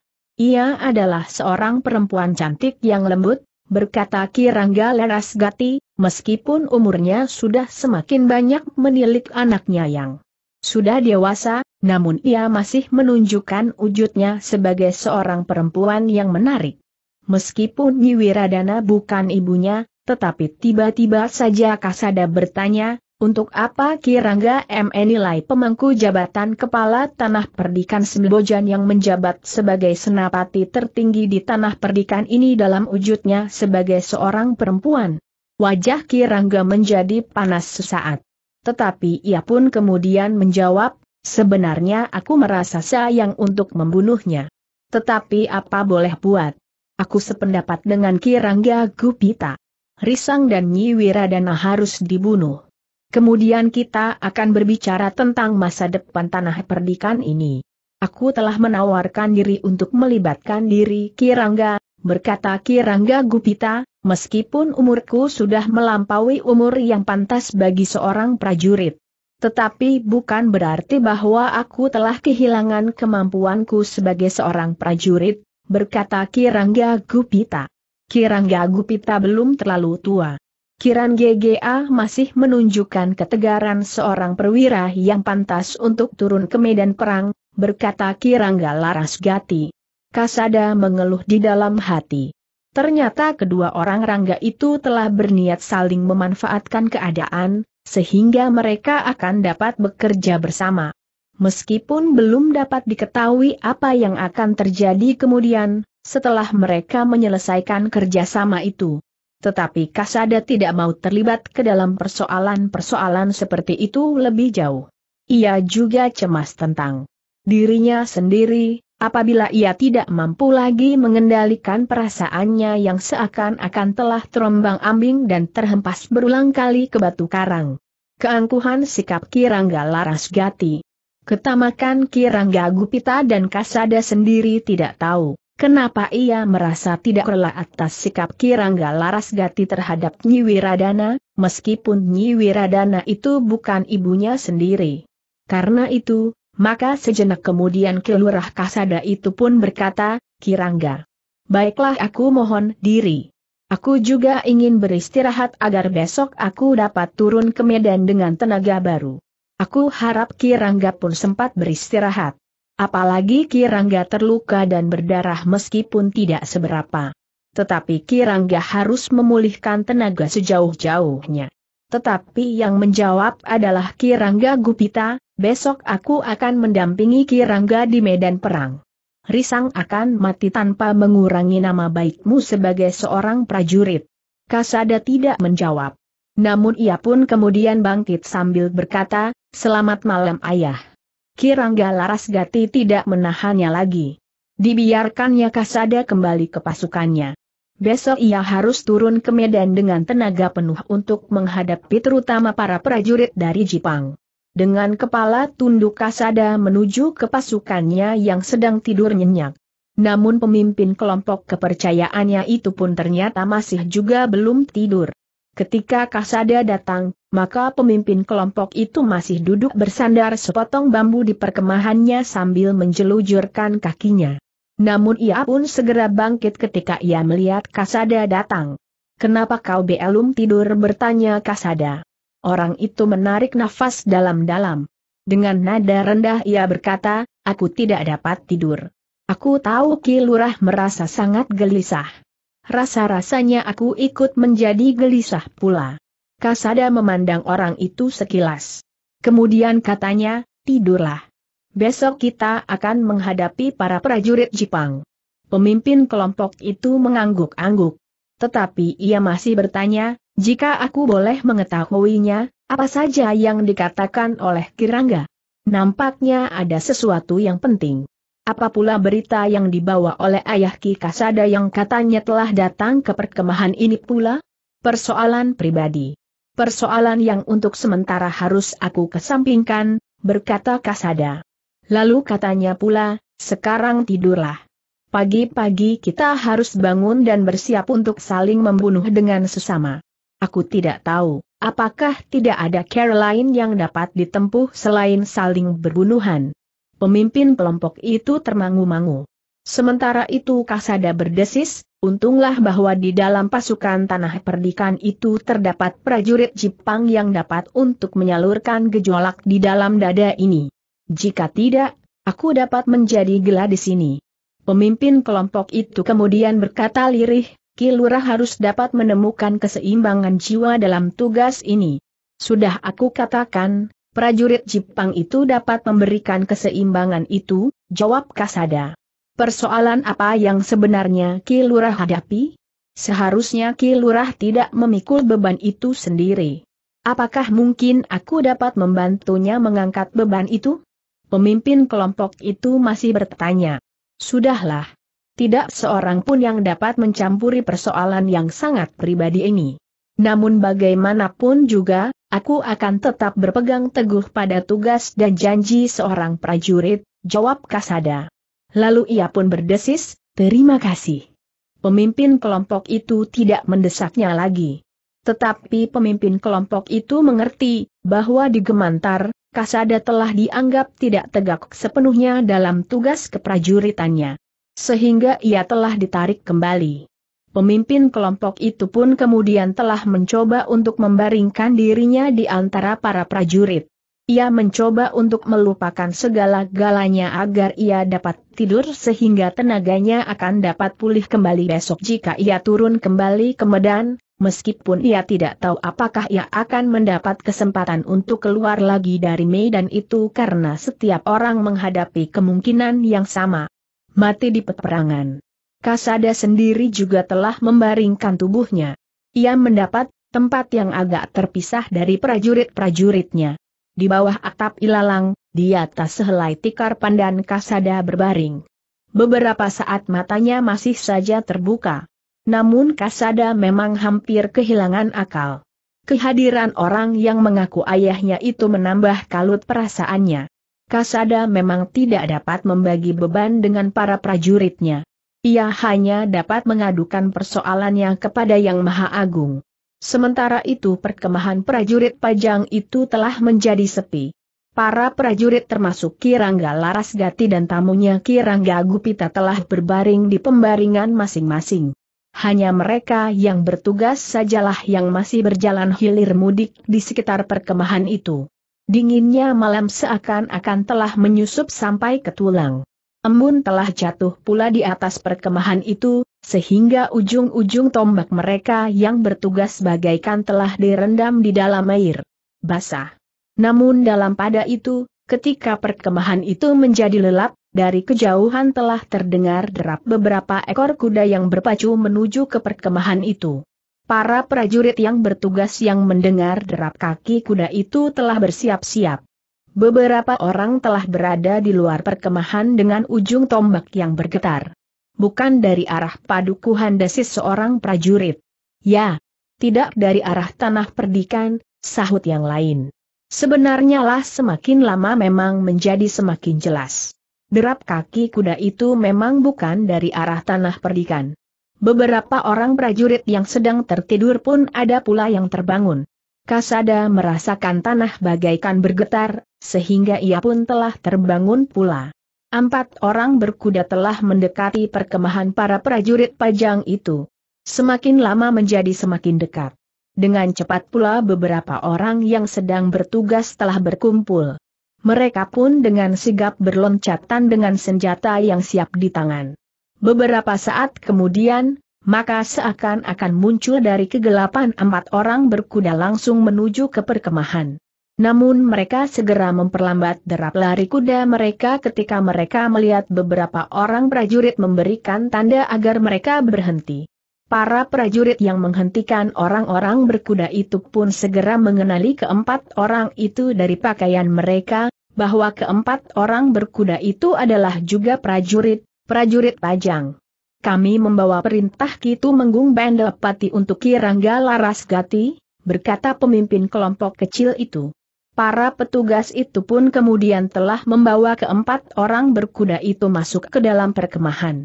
Setelah mengikat kuda-kuda mereka, maka keempat orang itu pun telah dibawa langsung ke perkemahan Kirangga Larasgati.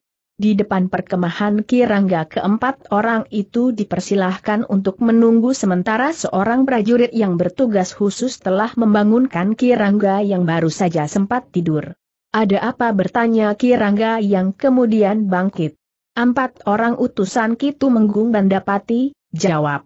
Prajurit itu. Wajah Kirangga menegang sejenak. Sesuatu dengan tiba-tiba telah bergejolak di dalam hatinya.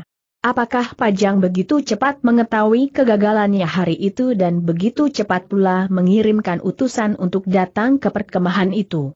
Tetapi Kirangga tidak mau berteka-teki lebih lama lagi. Ia pun telah memerintahkan prajuritnya untuk membawa keempat orang itu masuk. Marilah, Kirangga pun kemudian telah mempersilahkan keempat orang prajurit itu masuk ke dalam perkemahannya. Ternyata bahwa dua di antara keempat orang itu telah dikenal dengan baik oleh Kirangga Larasgati sebagai pembantu-pembantu terdekat Kitu Menggung Bandapati. Kedatangan kalian mengejutkan kami di perkemahan ini, berkata Kirangga. Kami membawa perintah Kitu Menggung, jawab pemimpin kelompok kecil yang sudah dikenal dengan baik oleh Kirangga itu. Perintah apa yang kau bawa bertanya Kirangga Larasgati setelah mereka duduk dalam lingkaran di perkemahan yang sempit itu. Prajurit itu termangu-mangu sejenak. Namun ia tidak menunggu lebih lama lagi. Ia memang mendapat perintah untuk melaksanakan tugasnya dengan cepat. Karena itu, maka pemimpin dari sekelompok kecil prajurit itu berkata, Kirangga, aku membawa perintah. Dari Kitu Menggung Bandapati, bahwa semua prajurit pajang harus ditarik kembali ke dalam kota. Hi, Kirangga terkejut, bukankah kami sedang menjalankan perintah khusus untuk menyelesaikan persoalan beberapa tanah perdikan yang berada di bawah naungan pajang, termasuk tanah perdikan Sembojan? Ya, tetapi keadaan pajang menjadi gawat.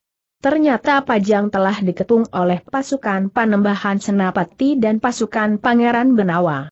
Panembahan Senapati membawa pasukannya dari barat, sedangkan Pangeran Benawa nampaknya telah mendekati Pajang dari arah timur, berkat prajurit itu lebih lanjut. Lalu katanya pula, karena itu, maka semua kekuatan harus ditarik masuk kota. Kita harus bertahan dari serangan yang datang dari barat maupun dari timur itu. Tetapi bagaimana dengan tanah perdikan ini? Ternyata sekelompok prajurit Jepang juga berada di sini. Di tanah perdikan Sembojan untuk membantu tanah perdikan itu, berkata Kirangga. Jadi pasukan Jepang juga sudah berada di sini bertanya prajurit itu. Ya, bukankah bagi Pajang akan sama saja arti, jika kami bertempur di sini melawan Pajang dan sekaligus menertibkan tanah perdikan yang tidak mau lagi tunduk kepada paugeran yang mengikat mereka, bertanya Kirangga. Apakah Ki Bandapati telah mengetahui akan hal itu bertanya prajurit itu pula. Kami mendapat tugas dari Kitu Menggung Bandapati yang mendapatkan wewenang untuk menyelesaikan persoalan beberapa tanah perdikan, berkata Kirangga Larasgati. Tetapi katanya kemudian, Namun Ki Bandapati belum tahu bahwa di sini ada pasukan Jepang yang mencoba untuk menghasut dan kemudian membantu tanah perdikan Sembojan. Tetapi perintah Ki Tumenggung Bandapati itu tegas Kirangga. Kirangga harus membawa seluruh pasukan termasuk yang dipimpin oleh Lurah Penatus Kasada, berkata pemimpin kelompok kecil itu. Jantung Kirangga terasa berdetak semakin cepat.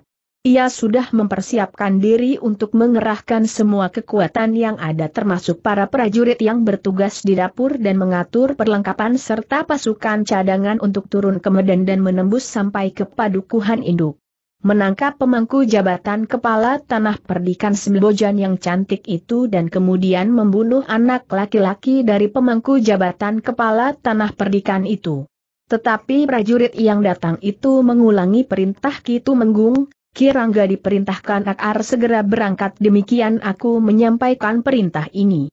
Ki Tumenggung tidak adil, berkata Kirangga, kami telah mengalami kegagalan di sini sehingga kami minta dikirim pasukan ke Lurah Kasada kemari. Tetapi demikian kami berpengharapan untuk menyelesaikan tugas ini, kami telah mendapat perintah untuk ditarik kembali. Apalagi malam ini juga. Sebenarnya aku tidak pernah berniat untuk melawan perintah. Tetapi bagaimana pertimbangan kalian, jika besok saja kami berangkat ke Pajang?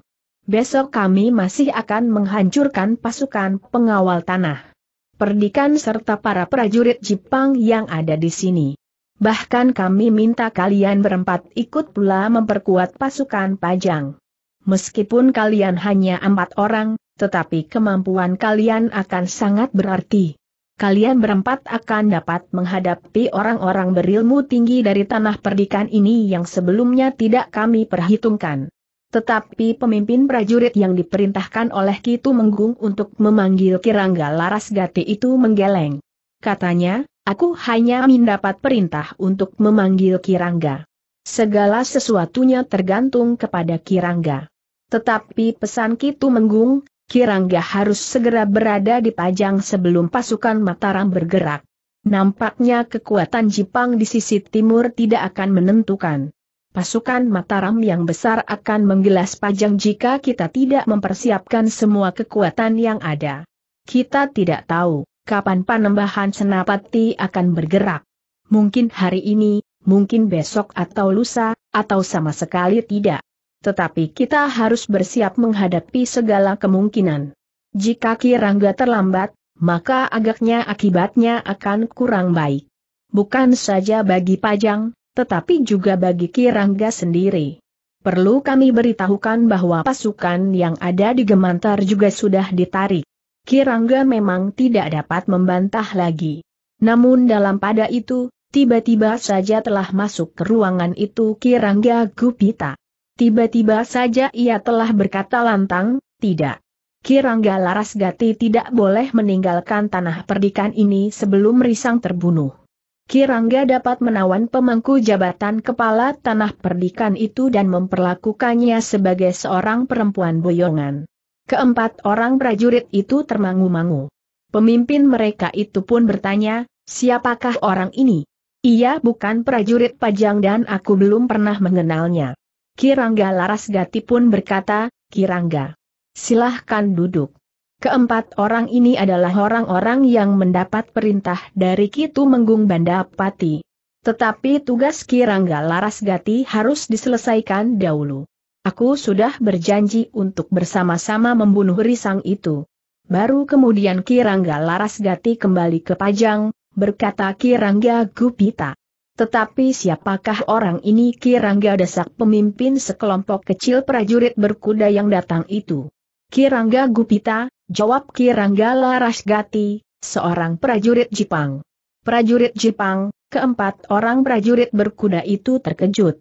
Namun Kirangga Larasgati dengan cepat menyahut, bekas prajurit Jepang di masa kekuasaan Arya Jepang beberapa tahun yang lalu, sebelum Jepang jatuh dan Pajang berdiri.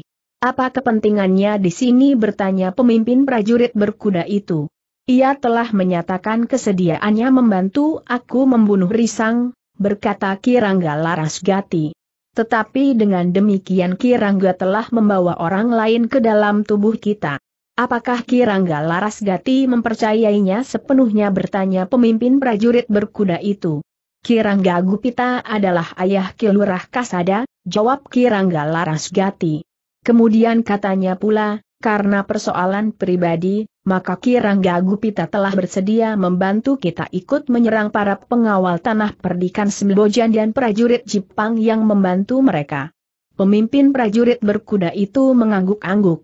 Jika orang itu ayah Kilurah Kasada, serta Kirangga Larasgati ingin memanfaatkan persoalan pribadi orang itu, maka mereka tidak berkeberatan. Tetapi bagaimanapun juga pemimpin prajurit berkuda itu berkata, perintah Kitu Menggung sudah jelas. Kirangga Larasgati telah membawa wewenang ketika ia mendapat perintah untuk datang ke tanah perdikan ini. Ia dapat mengambil kebijaksanaan tertentu sehingga tugasnya dapat diselesaikan. Jika Kirangga harus kembali malam ini, apa artinya kematian yang telah dikorbankan selama ini? Beberapa orang prajurit telah gugur dan yang lain terluka parah. Apakah pengorbanan mereka dibiarkan sia-sia sahut Kirangga Gupita? Kau ini siapa bertanya pemimpin prajurit berkuda itu? Apakah kau tidak mempunyai telinga? Bukankah hal itu? Sudah dijelaskan sehingga seharusnya kau tidak bertanya. Lagi, jawab Kirangga. Wajah prajurit itu menjadi merah. Dengan lantang ia berkata, kau bukan keluarga kami, meskipun kau ayah kilurah kasada. Apa hakmu berbicara di antara kami? Jika sekali lagi kau mencampuri persoalan kami, maka kami akan mengusirmu dari tempat ini. Jika perlu dengan kekerasan. Kilurah Kasada akan diperintahkan untuk membawamu pergi atau Kilurah Kasada yang akan dianggap menolak perintah. Kau kira Kilurah Kasada lebih berkuasa dari Kitu Menggung Bandapati? Jika aku berbicara atas nama Kitu Menggung dan Dapati, maka aku membawa wewenang dari Kitu Menggung itu. Karena itu aku akan mengulangi perintahnya kepada Kirangga Larasgati, kita berangkat kembali ke Pajang. Sekarang, dada Kirangga Gupita pun bergelora. Tetapi ia menyadari bahwa ia memang tidak dapat berbuat apa-apa. Ia bukan lagi seorang perwira dalam jajaran prajurit, apalagi prajurit pajang. Sementara itu Kirangga Larasgati pun tidak mempunyai kesempatan apa pun untuk mengelak dari perintah Kitu Menggung Bandapati. Apalagi Kirangga dapat menduga latar belakang dari perintah itu, yang dapat diartikan dalam berbagai kemungkinan. Mungkin beberapa orang pemimpin pajang melihat bahwa Kitu Menggung Bandapati telah menyalahgunakan kekuasaannya. Mungkin justru karena iri hati atau usaha orang lain untuk merebut kesempatan yang diperoleh Kitu Menggung Bandapati dengan memanfaatkan kehadiran prajurit Mataram dan Jipang. Namun apa pun alasannya, prajurit Pajang itu harus ditarik mundur. Karena itu, maka Kirangga telah memanggil beberapa orang pemimpin pasukannya termasuk Ki Lurah Kasada. Dengan singkat Kirangga mengulangi perintah Kitu Menggung Bandapati lewat keempat prajurit berkuda itu. Beberapa orang pemimpin memang terkejut. Mereka sudah bersiap-siap untuk memberikan pukulan terakhir kepada tanah perdikan Sembojan. Mereka tahu bahwa Kirangga telah mempersiapkan segala-galanya. Semua prajurit telah diperintah untuk turun ke medan. Bahkan, prajurit yang seharusnya bertugas di dapur sekalipun apalagi prajurit yang dipersiapkan sebagai pasukan cadangan. Namun tiba-tiba perintah itu datang. Seperti angin yang bertiup menyapu awan hitam yang sudah menggantung di langit. Namun seorang di antara para pemimpin prajurit itu justru mengucap syukur di dalam hatinya. Dengan sepenuh hati ia berkata di dalam dadanya, Yang Maha Agung ternyata sudi mendengarkan keluhanku. Orang itu adalah Kilurah Kasada. Sebenarnya lah ia merasa dibebaskan dari tekanan jiwa yang sangat berat. Sementara itu ia berkata pula di dalam hatinya, aku akan dapat melawan Jepang di mana saja. Perintah penarikan itu bagi Kasada bagaikan pembebasan baginya dari beban yang sangat berat. Seandainya di tanah perdikan itu tidak ada prajurit Jepang, maka Kasada akan kehilangan akal. Bahkan mungkin sekali Kasada akan memilih kehilangan kedudukan keprajuritannya daripada harus bertempur lari sung melawan pimpinan tanah perdikan semujan itu.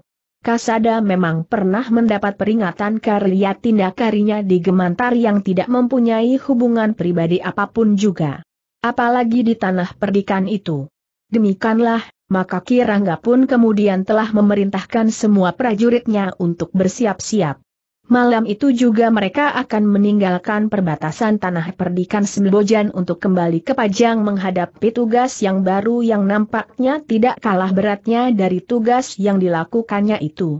Di Pajang, mereka akan berhadapan lagi dengan para prajurit Jepang dan bahkan prajurit Mataram. Karena prajurit Pajang adalah prajurit yang telah terlatih dengan baik, maka meskipun sebagian dari mereka merasa kecewa, namun dalam waktu singkat mereka telah menyelesaikan persiapan untuk berangkat kembali ke Pajang yang menurut para prajurit dari pasukan berkuda itu menjadi gawat. Prajurit berkuda itu pun telah menunjukkan jalan yang harus mereka lalui agar mereka tidak terjebak ke dalam perkemahan para prajurit Mataram dan Pajang. Menjelang dini, maka semua persiapan telah selesai. Semua perlengkapan telah terikat di punggung beberapa ekor kuda. Ketika para prajurit dikumpulkan untuk mendapat perintah terakhir, maka Kasada masih sempat memandang ke kejauhan. Dipandanginya padukuhan pertama dari tanah perdikan Sembojan yang menjadi landasan utama pasukan pengawal tanah perdikan itu untuk menghadapi Pajang. Dari kejauhan nampak lampu-lampu minyak serta on di regol yang berkeredipan di kelamnya sisa malam. Namun langit memang sudah nampak lebih terang oleh cahaya dini hari. Kasada itu menggelengkan kepalanya. Di dalam hatinya ia berjanji bahwa secara pribadi ia tidak akan mengusik kedudukan pemangku jabatan kepala tanah perdikan Semojan yang akan temurun kepada anak laki-lakinya yang bernama Risang, yang dikenalnya sebagai Barata di dalam satu kesatuan yang bahkan telah pernah menyelamatkan nyawanya di medan pertempuran melawan prajurit Mataram. Perang melawan Mataram itu akan diulangi, berkata Kasada di dalam hatinya. Ketika kemudian terdengar bunyi benda sekali, maka Kasada bagaikan terbangun dari sebuah mimpi yang mendebarkan. Perlahan-lahan ia melangkah ke pasukannya yang telah bersiap. Kemudian terdengar bunyi benda untuk kedua kalinya, sebagai pertanda bahwa semua orang di dalam pasukan itu harus sudah bersiap. Tidak ada lagi yang akan tercecer dan ketinggalan. Beberapa saat kemudian, maka telah terdengar suara benda untuk ketiga kalinya. Kirangga Laras Gati pun segera meneriakkan aba-aba bagi pasukannya yang mulai bergerak berangkat menuju ke Pajang. Sementara itu Kirangga Gupita telah ikut pula melangkah di belakang pasukan itu sambil mengumpat tidak habis-habisnya. Ia yang seakan-akan telah melihat mayat Risang dan Nyi Wiradana terkapar harus menerima kenyataan yang ternyata sangat pahit itu. Pasukan Pajang yang tinggal selangkah menginjak tanah perdikan Sembojan dan kemudian menghancurkannya, telah meninggalkan tanah perdikan itu dalam keadaan utuh. Namun dalam pada itu, Ketika benda itu terdengar dari padukuhan pertama tanah perdikan Sembojan, memang telah menimbulkan kesibukan yang luar biasa di malam hari suara benda itu seakan-akan menjadi semakin jelas. Para pengawal yang bertugas memang mendengar suara benda yang melengking menggetarkan udara. Benda yang suaranya bergema menelusuri malam yang sepi. Karena itu, maka mereka pun segera menyampaikan laporan kepada para pemimpin di Banjar. Perintah pun segera diberikan oleh Risang, agar semua pasukan disiapkan. Semua pengawal yang bertugas malam itu harus dengan cepat keluar dari regol padukuhan mengamati keadaan. Dengan tergesa-gesa semua pengawal yang tersebar di rumah-rumah di padukuhan itu telah disiapkan, pengan cepat mereka menuju keluar regol padukuhan dan menyusun pertahanan. Para prajurit Jepang yang memang sudah terlatih itu pun dengan cepat telah bersiaga pula. Seperti sehari sebelumnya, maka pasukan pun segera tersusun dalam gelar yang sederhana. Risang telah bersiap pula di induk pasukannya. Sambil Wulung dan Jati Wulung telah mendekatinya pula. Sementara Gandar berdiri beberapa langkah di hadapan mereka. Nampaknya Pajang telah kehilangan akal, sehingga mereka akan menyerang sebelum fajar, berkata Sambi Wulung. Risang termangu-mangu. Dengan tegang ia memandang ke arah perkemahan para prajurit Pajang. tetapi yang nampak hanyalah peletik cahaya obor yang menerangi beberapa bagian dari perkemahan itu. Ketika kemudian benda berbunyi dua kali, pasukan tanah perdikan itu pun telah menempatkan dirinya dalam kesiagaan penuh. Sambi Wulung dan Jati Wulung telah siap untuk menempati kedua ujung sayap seberang menyeberang. Namun pada saat itu Iswari dan Kitu Menggung Jaladara telah berada pula di medan mereka telah mendapat laporan tentang gerakan pasukan Pajang. Sehingga dengan tergesa-gesa keduanya telah menemui Risang yang memandang ke arah perkemahan dengan tegang. Aku menyaksikan gerakan mereka, berkata Kitu Menggung Jaladara. Maksud Kitu Menggung bertanya Risang. Aku tidak menyalahkan persiapan yang kita lakukan. Kita memang harus berbuat demikian tanpa memungkinkan terjadinya akibat yang sangat buruk bagi kita. Tetapi prajurit pajang itu dapat saja melakukan permainan untuk sekedar mengejutkan kita dan mengganggu istirahat kita, berkata Ki Jaladara. Lalu katanya pula, jarak antara kedua landasan pasukan ini memang terlalu dekat meskipun satu sama lain berada di sebelah menyebelah perbatasan. Sementara itu jika Pajang benar-benar menyerang para pengawal dan prajurit masih belum sempat makan. Dengan demikian maka daya tahan mereka dalam pertempuran mendatang tentu tidak akan utuh. Risang mengangguk-angguk. Katanya, kita akan memerintahkan penghubung untuk menghubungi dapur. Jika mungkin, maka siapa yang sempat makan biarlah makan. Apakah Bibi tidak datang ke Banjar bertanya Iswari. Risang menjeleng sambil menjawab, sejak peristiwa kedatangan empat orang prajurit pajang itu, maka Bibi tidak mau meninggalkan dapur. Namun ternyata para prajurit Jepang dan para pengawal tidak sempat untuk makan, karena jarak antara suara benda kedua dan ketiga tidak cukup lama. Memang sebelum fajar, terdengar bunyi benda untuk ketiga kalinya. Hanya lamat-lamat. Namun cukup jelas bagi setiap pengawal dan prajurit Jepang.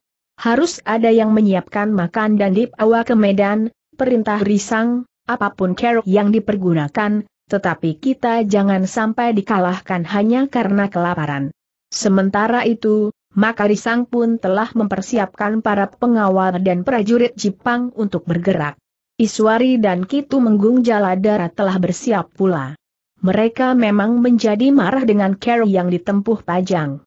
Karena itu, maka Nyi Wiradana dan Kitu Menggung Jaladara berniat untuk ikut bertempur agar mereka dapat memberi kesempatan kepada para prajurit bergantian makan dan minum karena keduanya akan dapat menghisap kelompok-kelompok prajurit pajang.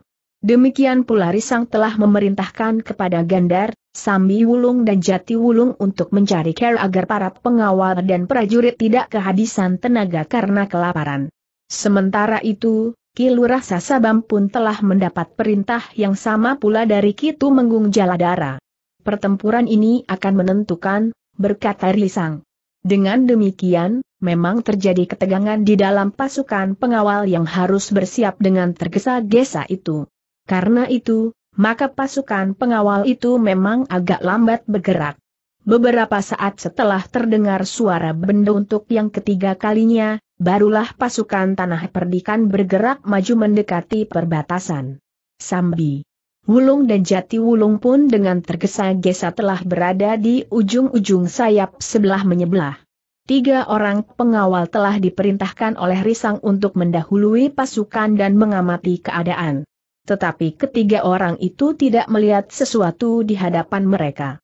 Meskipun menjelang fajar udara masih kelam, namun mereka yakin bahwa mereka akan dapat melihat pada jarak beberapa puluh patok jika mereka bertemu dengan pasukan Pajang. Karena itu, maka ketiganya menjadi cemas. Seorang di antaranya berkata, apakah prajurit Pajang telah mengambil jalan melingkar dan menyerang tanah perdikan dari jurusan lain? Memang satu kemungkinan, jawab yang lain. Lihat. Kita membagi diri menjadi tiga. Satu berjalan sampai ke perbatasan dan yang lain ke kanan dan ke kiri. Dengan cepat. Pasukan Pajang itu tentu masih belum jauh, berkata seorang di antara mereka. Ketiga orang itu memang tidak membuang waktu. Seorang segera berlari-lari ke kiri. Yang lain ke kanan sementara seorang di antara mereka berjalan terus sampai ke perbatasan. namun tidak seorang pun di antara mereka yang bertemu dengan pasukan Pajang. Dua orang pengawal yang berlari-lari ke kiri dan ke kanan kemudian menjadi yakin bahwa pasukan Pajang tidak mengambil jalan lain. Tetapi pengawal yang berjalan menuju ke perbatasan pun menjadi haran. Ia tidak melihat sesuatu. Demikianlah, maka akhirnya pasukan pengawal tanah perdikan Sembojan dan para prajurit Jepang itu pun telah berhenti pula di perbatasan. Sementara langit menjadi merah oleh cahaya fajar. Risang yang tidak mau berteka-teki telah memanggil Gandar dan mengajaknya untuk melihat perkemahan orang-orang Pajang. Berhati-hatilah, berkata Nyi Wiradana. Risang dan Gandar pun kemudian telah merayap mendekati perkemahan orang-orang Pajang. Sementara itu, langit pun menjadi semakin terang sehingga keduanya harus menjadi semakin berhati-hati. Namun kedua orang itu menjadi berdebar-debar. Mereka masih melihat beberapa buah honcor menyala. Tetapi perkemahan itu nampaknya sepi. Tidak ada seorang pun yang nampak. Baik para petugas yang berjaga-jaga, maupun mereka yang mempersiapkan perlengkapan. Seandainya pasukan Pajang itu menyerang tanah perdikan lewat jalan lain, tentu masih ada orang-orang yang tertinggal di perkemahan. Tetapi perkemahan itu benar-benar sepi. Dengan sangat berhati-hati kedua orang itu menjadi semakin dekat dengan perkemahan. Tetapi mereka masih tetap tidak melihat seorang pun. Kita masuk ke perkemahan, berkata Risang. Tunggu. Biarlah aku melihatnya dahulu. Mungkin ini satu jebakan atau satu permainan yang belum kita mengerti, desis Gandar. Ternyata Gandar tidak menunggu lagi. Ia pun segera menyusup masuk ke dalam perkemahan. Tetapi perkemahan itu memang sudah kosong. Karena itu, maka Gandar pun telah memberi isyarat kepada Risang untuk memasuki perkemahan itu. Sebenarnya di perkemahan itu sudah tidak ada seorang pun. Masih ada beberapa macam peralatan dapur yang tertinggal. Tetapi sebagian besar dari peralatan yang diperlukan oleh sepasukan prajurit telah tidak ada.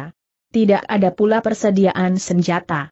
Tidak ada pula pakaian cadangan dan apalagi orang-orang yang terluka. Kosong, desis risang. Memang aneh, berkata Gandar, mereka telah pergi, tetapi kenapa mereka pergi? Menurut Kasada, pasukan Pajang justru akan mengerahkan semua orang untuk menyerang hari ini, berkata Risang sambil memandang berkeliling masih ada persediaan beras cukup yang agaknya tidak terbawa oleh pasukan Pajang yang telah meninggalkan perkemahan itu. Beberapa saat Risang dan Gandar berada di perkemahan itu.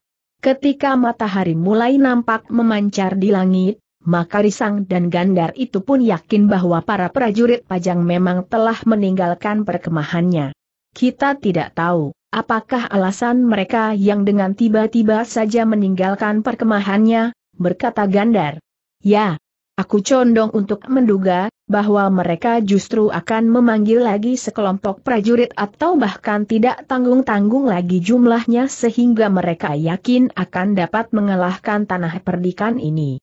Tetapi ternyata tidak, berkata Risang. Namun Gandar pun kemudian berkata, marilah. Kaita laporkan hal ini kepada Nyi Wiradana. Risang dan Gandar pun kemudian dengan cepat kembali ke perbatasan. Para pengawal dan prajurit Jepang memang telah gelisah sebagaimana Nyi Wiradana dan Kitu Menggung Jaladara. Namun laporan Risang dan Gandar memang telah mengejutkan mereka. Bahkan Nyi Wiradana berkata, aku akan melihat sendiri. Bersama Kitu Menggung Jaladara, Risang dan Gandar, Nyi Wiradana telah datang ke perkemahan orang-orang Pajang. Meskipun matahari kemudian sudah terbit, namun obor-obor yang terpasang sebagian masih ada yang menyala. Apakah ini bukan akal orang-orang Pajang yang mungkin menyerang dari sisi yang lain dari tanah perdikan ini bertanya Kitu Menggung Jaladara. Tentu terdengar isyarat kentonang, jawab Nyi Wiradana, pengawal yang masih ada di padukuhan-padukuhan telah mendapat pesan. Bahkan setiap orang. Kehadiran satu pasukan yang besar tentu akan segera terlihat oleh para petugas. Ki Tumenggung itu mengangguk-angguk. Tetapi ia berdesis, satu teka-teki. Nyi Wiradana termangu-mangu sejenak. Lalu katanya, kita kembali ke perbatasan. Ternyata kita sudah menjadi lengah sehingga para pengawas tidak tahu apa yang telah terjadi di perkemahan itu. Tetapi menilik bekas dan jejaknya, maka sebuah iring-iringan telah meninggalkan perkemahan ini. Seharusnya pengawas kita mengetahui apa yang telah terjadi. Janganku seluruh pasukan, seorang berkuda yang keluar dari perkemahan dan meninggalkan tempat itu harus kita ketahui arahnya. Tetapi pertempuran itu telah menyita seluruh perhatian kita ibu, desis risang, meskipun kita harus mengakui kelengahan itu.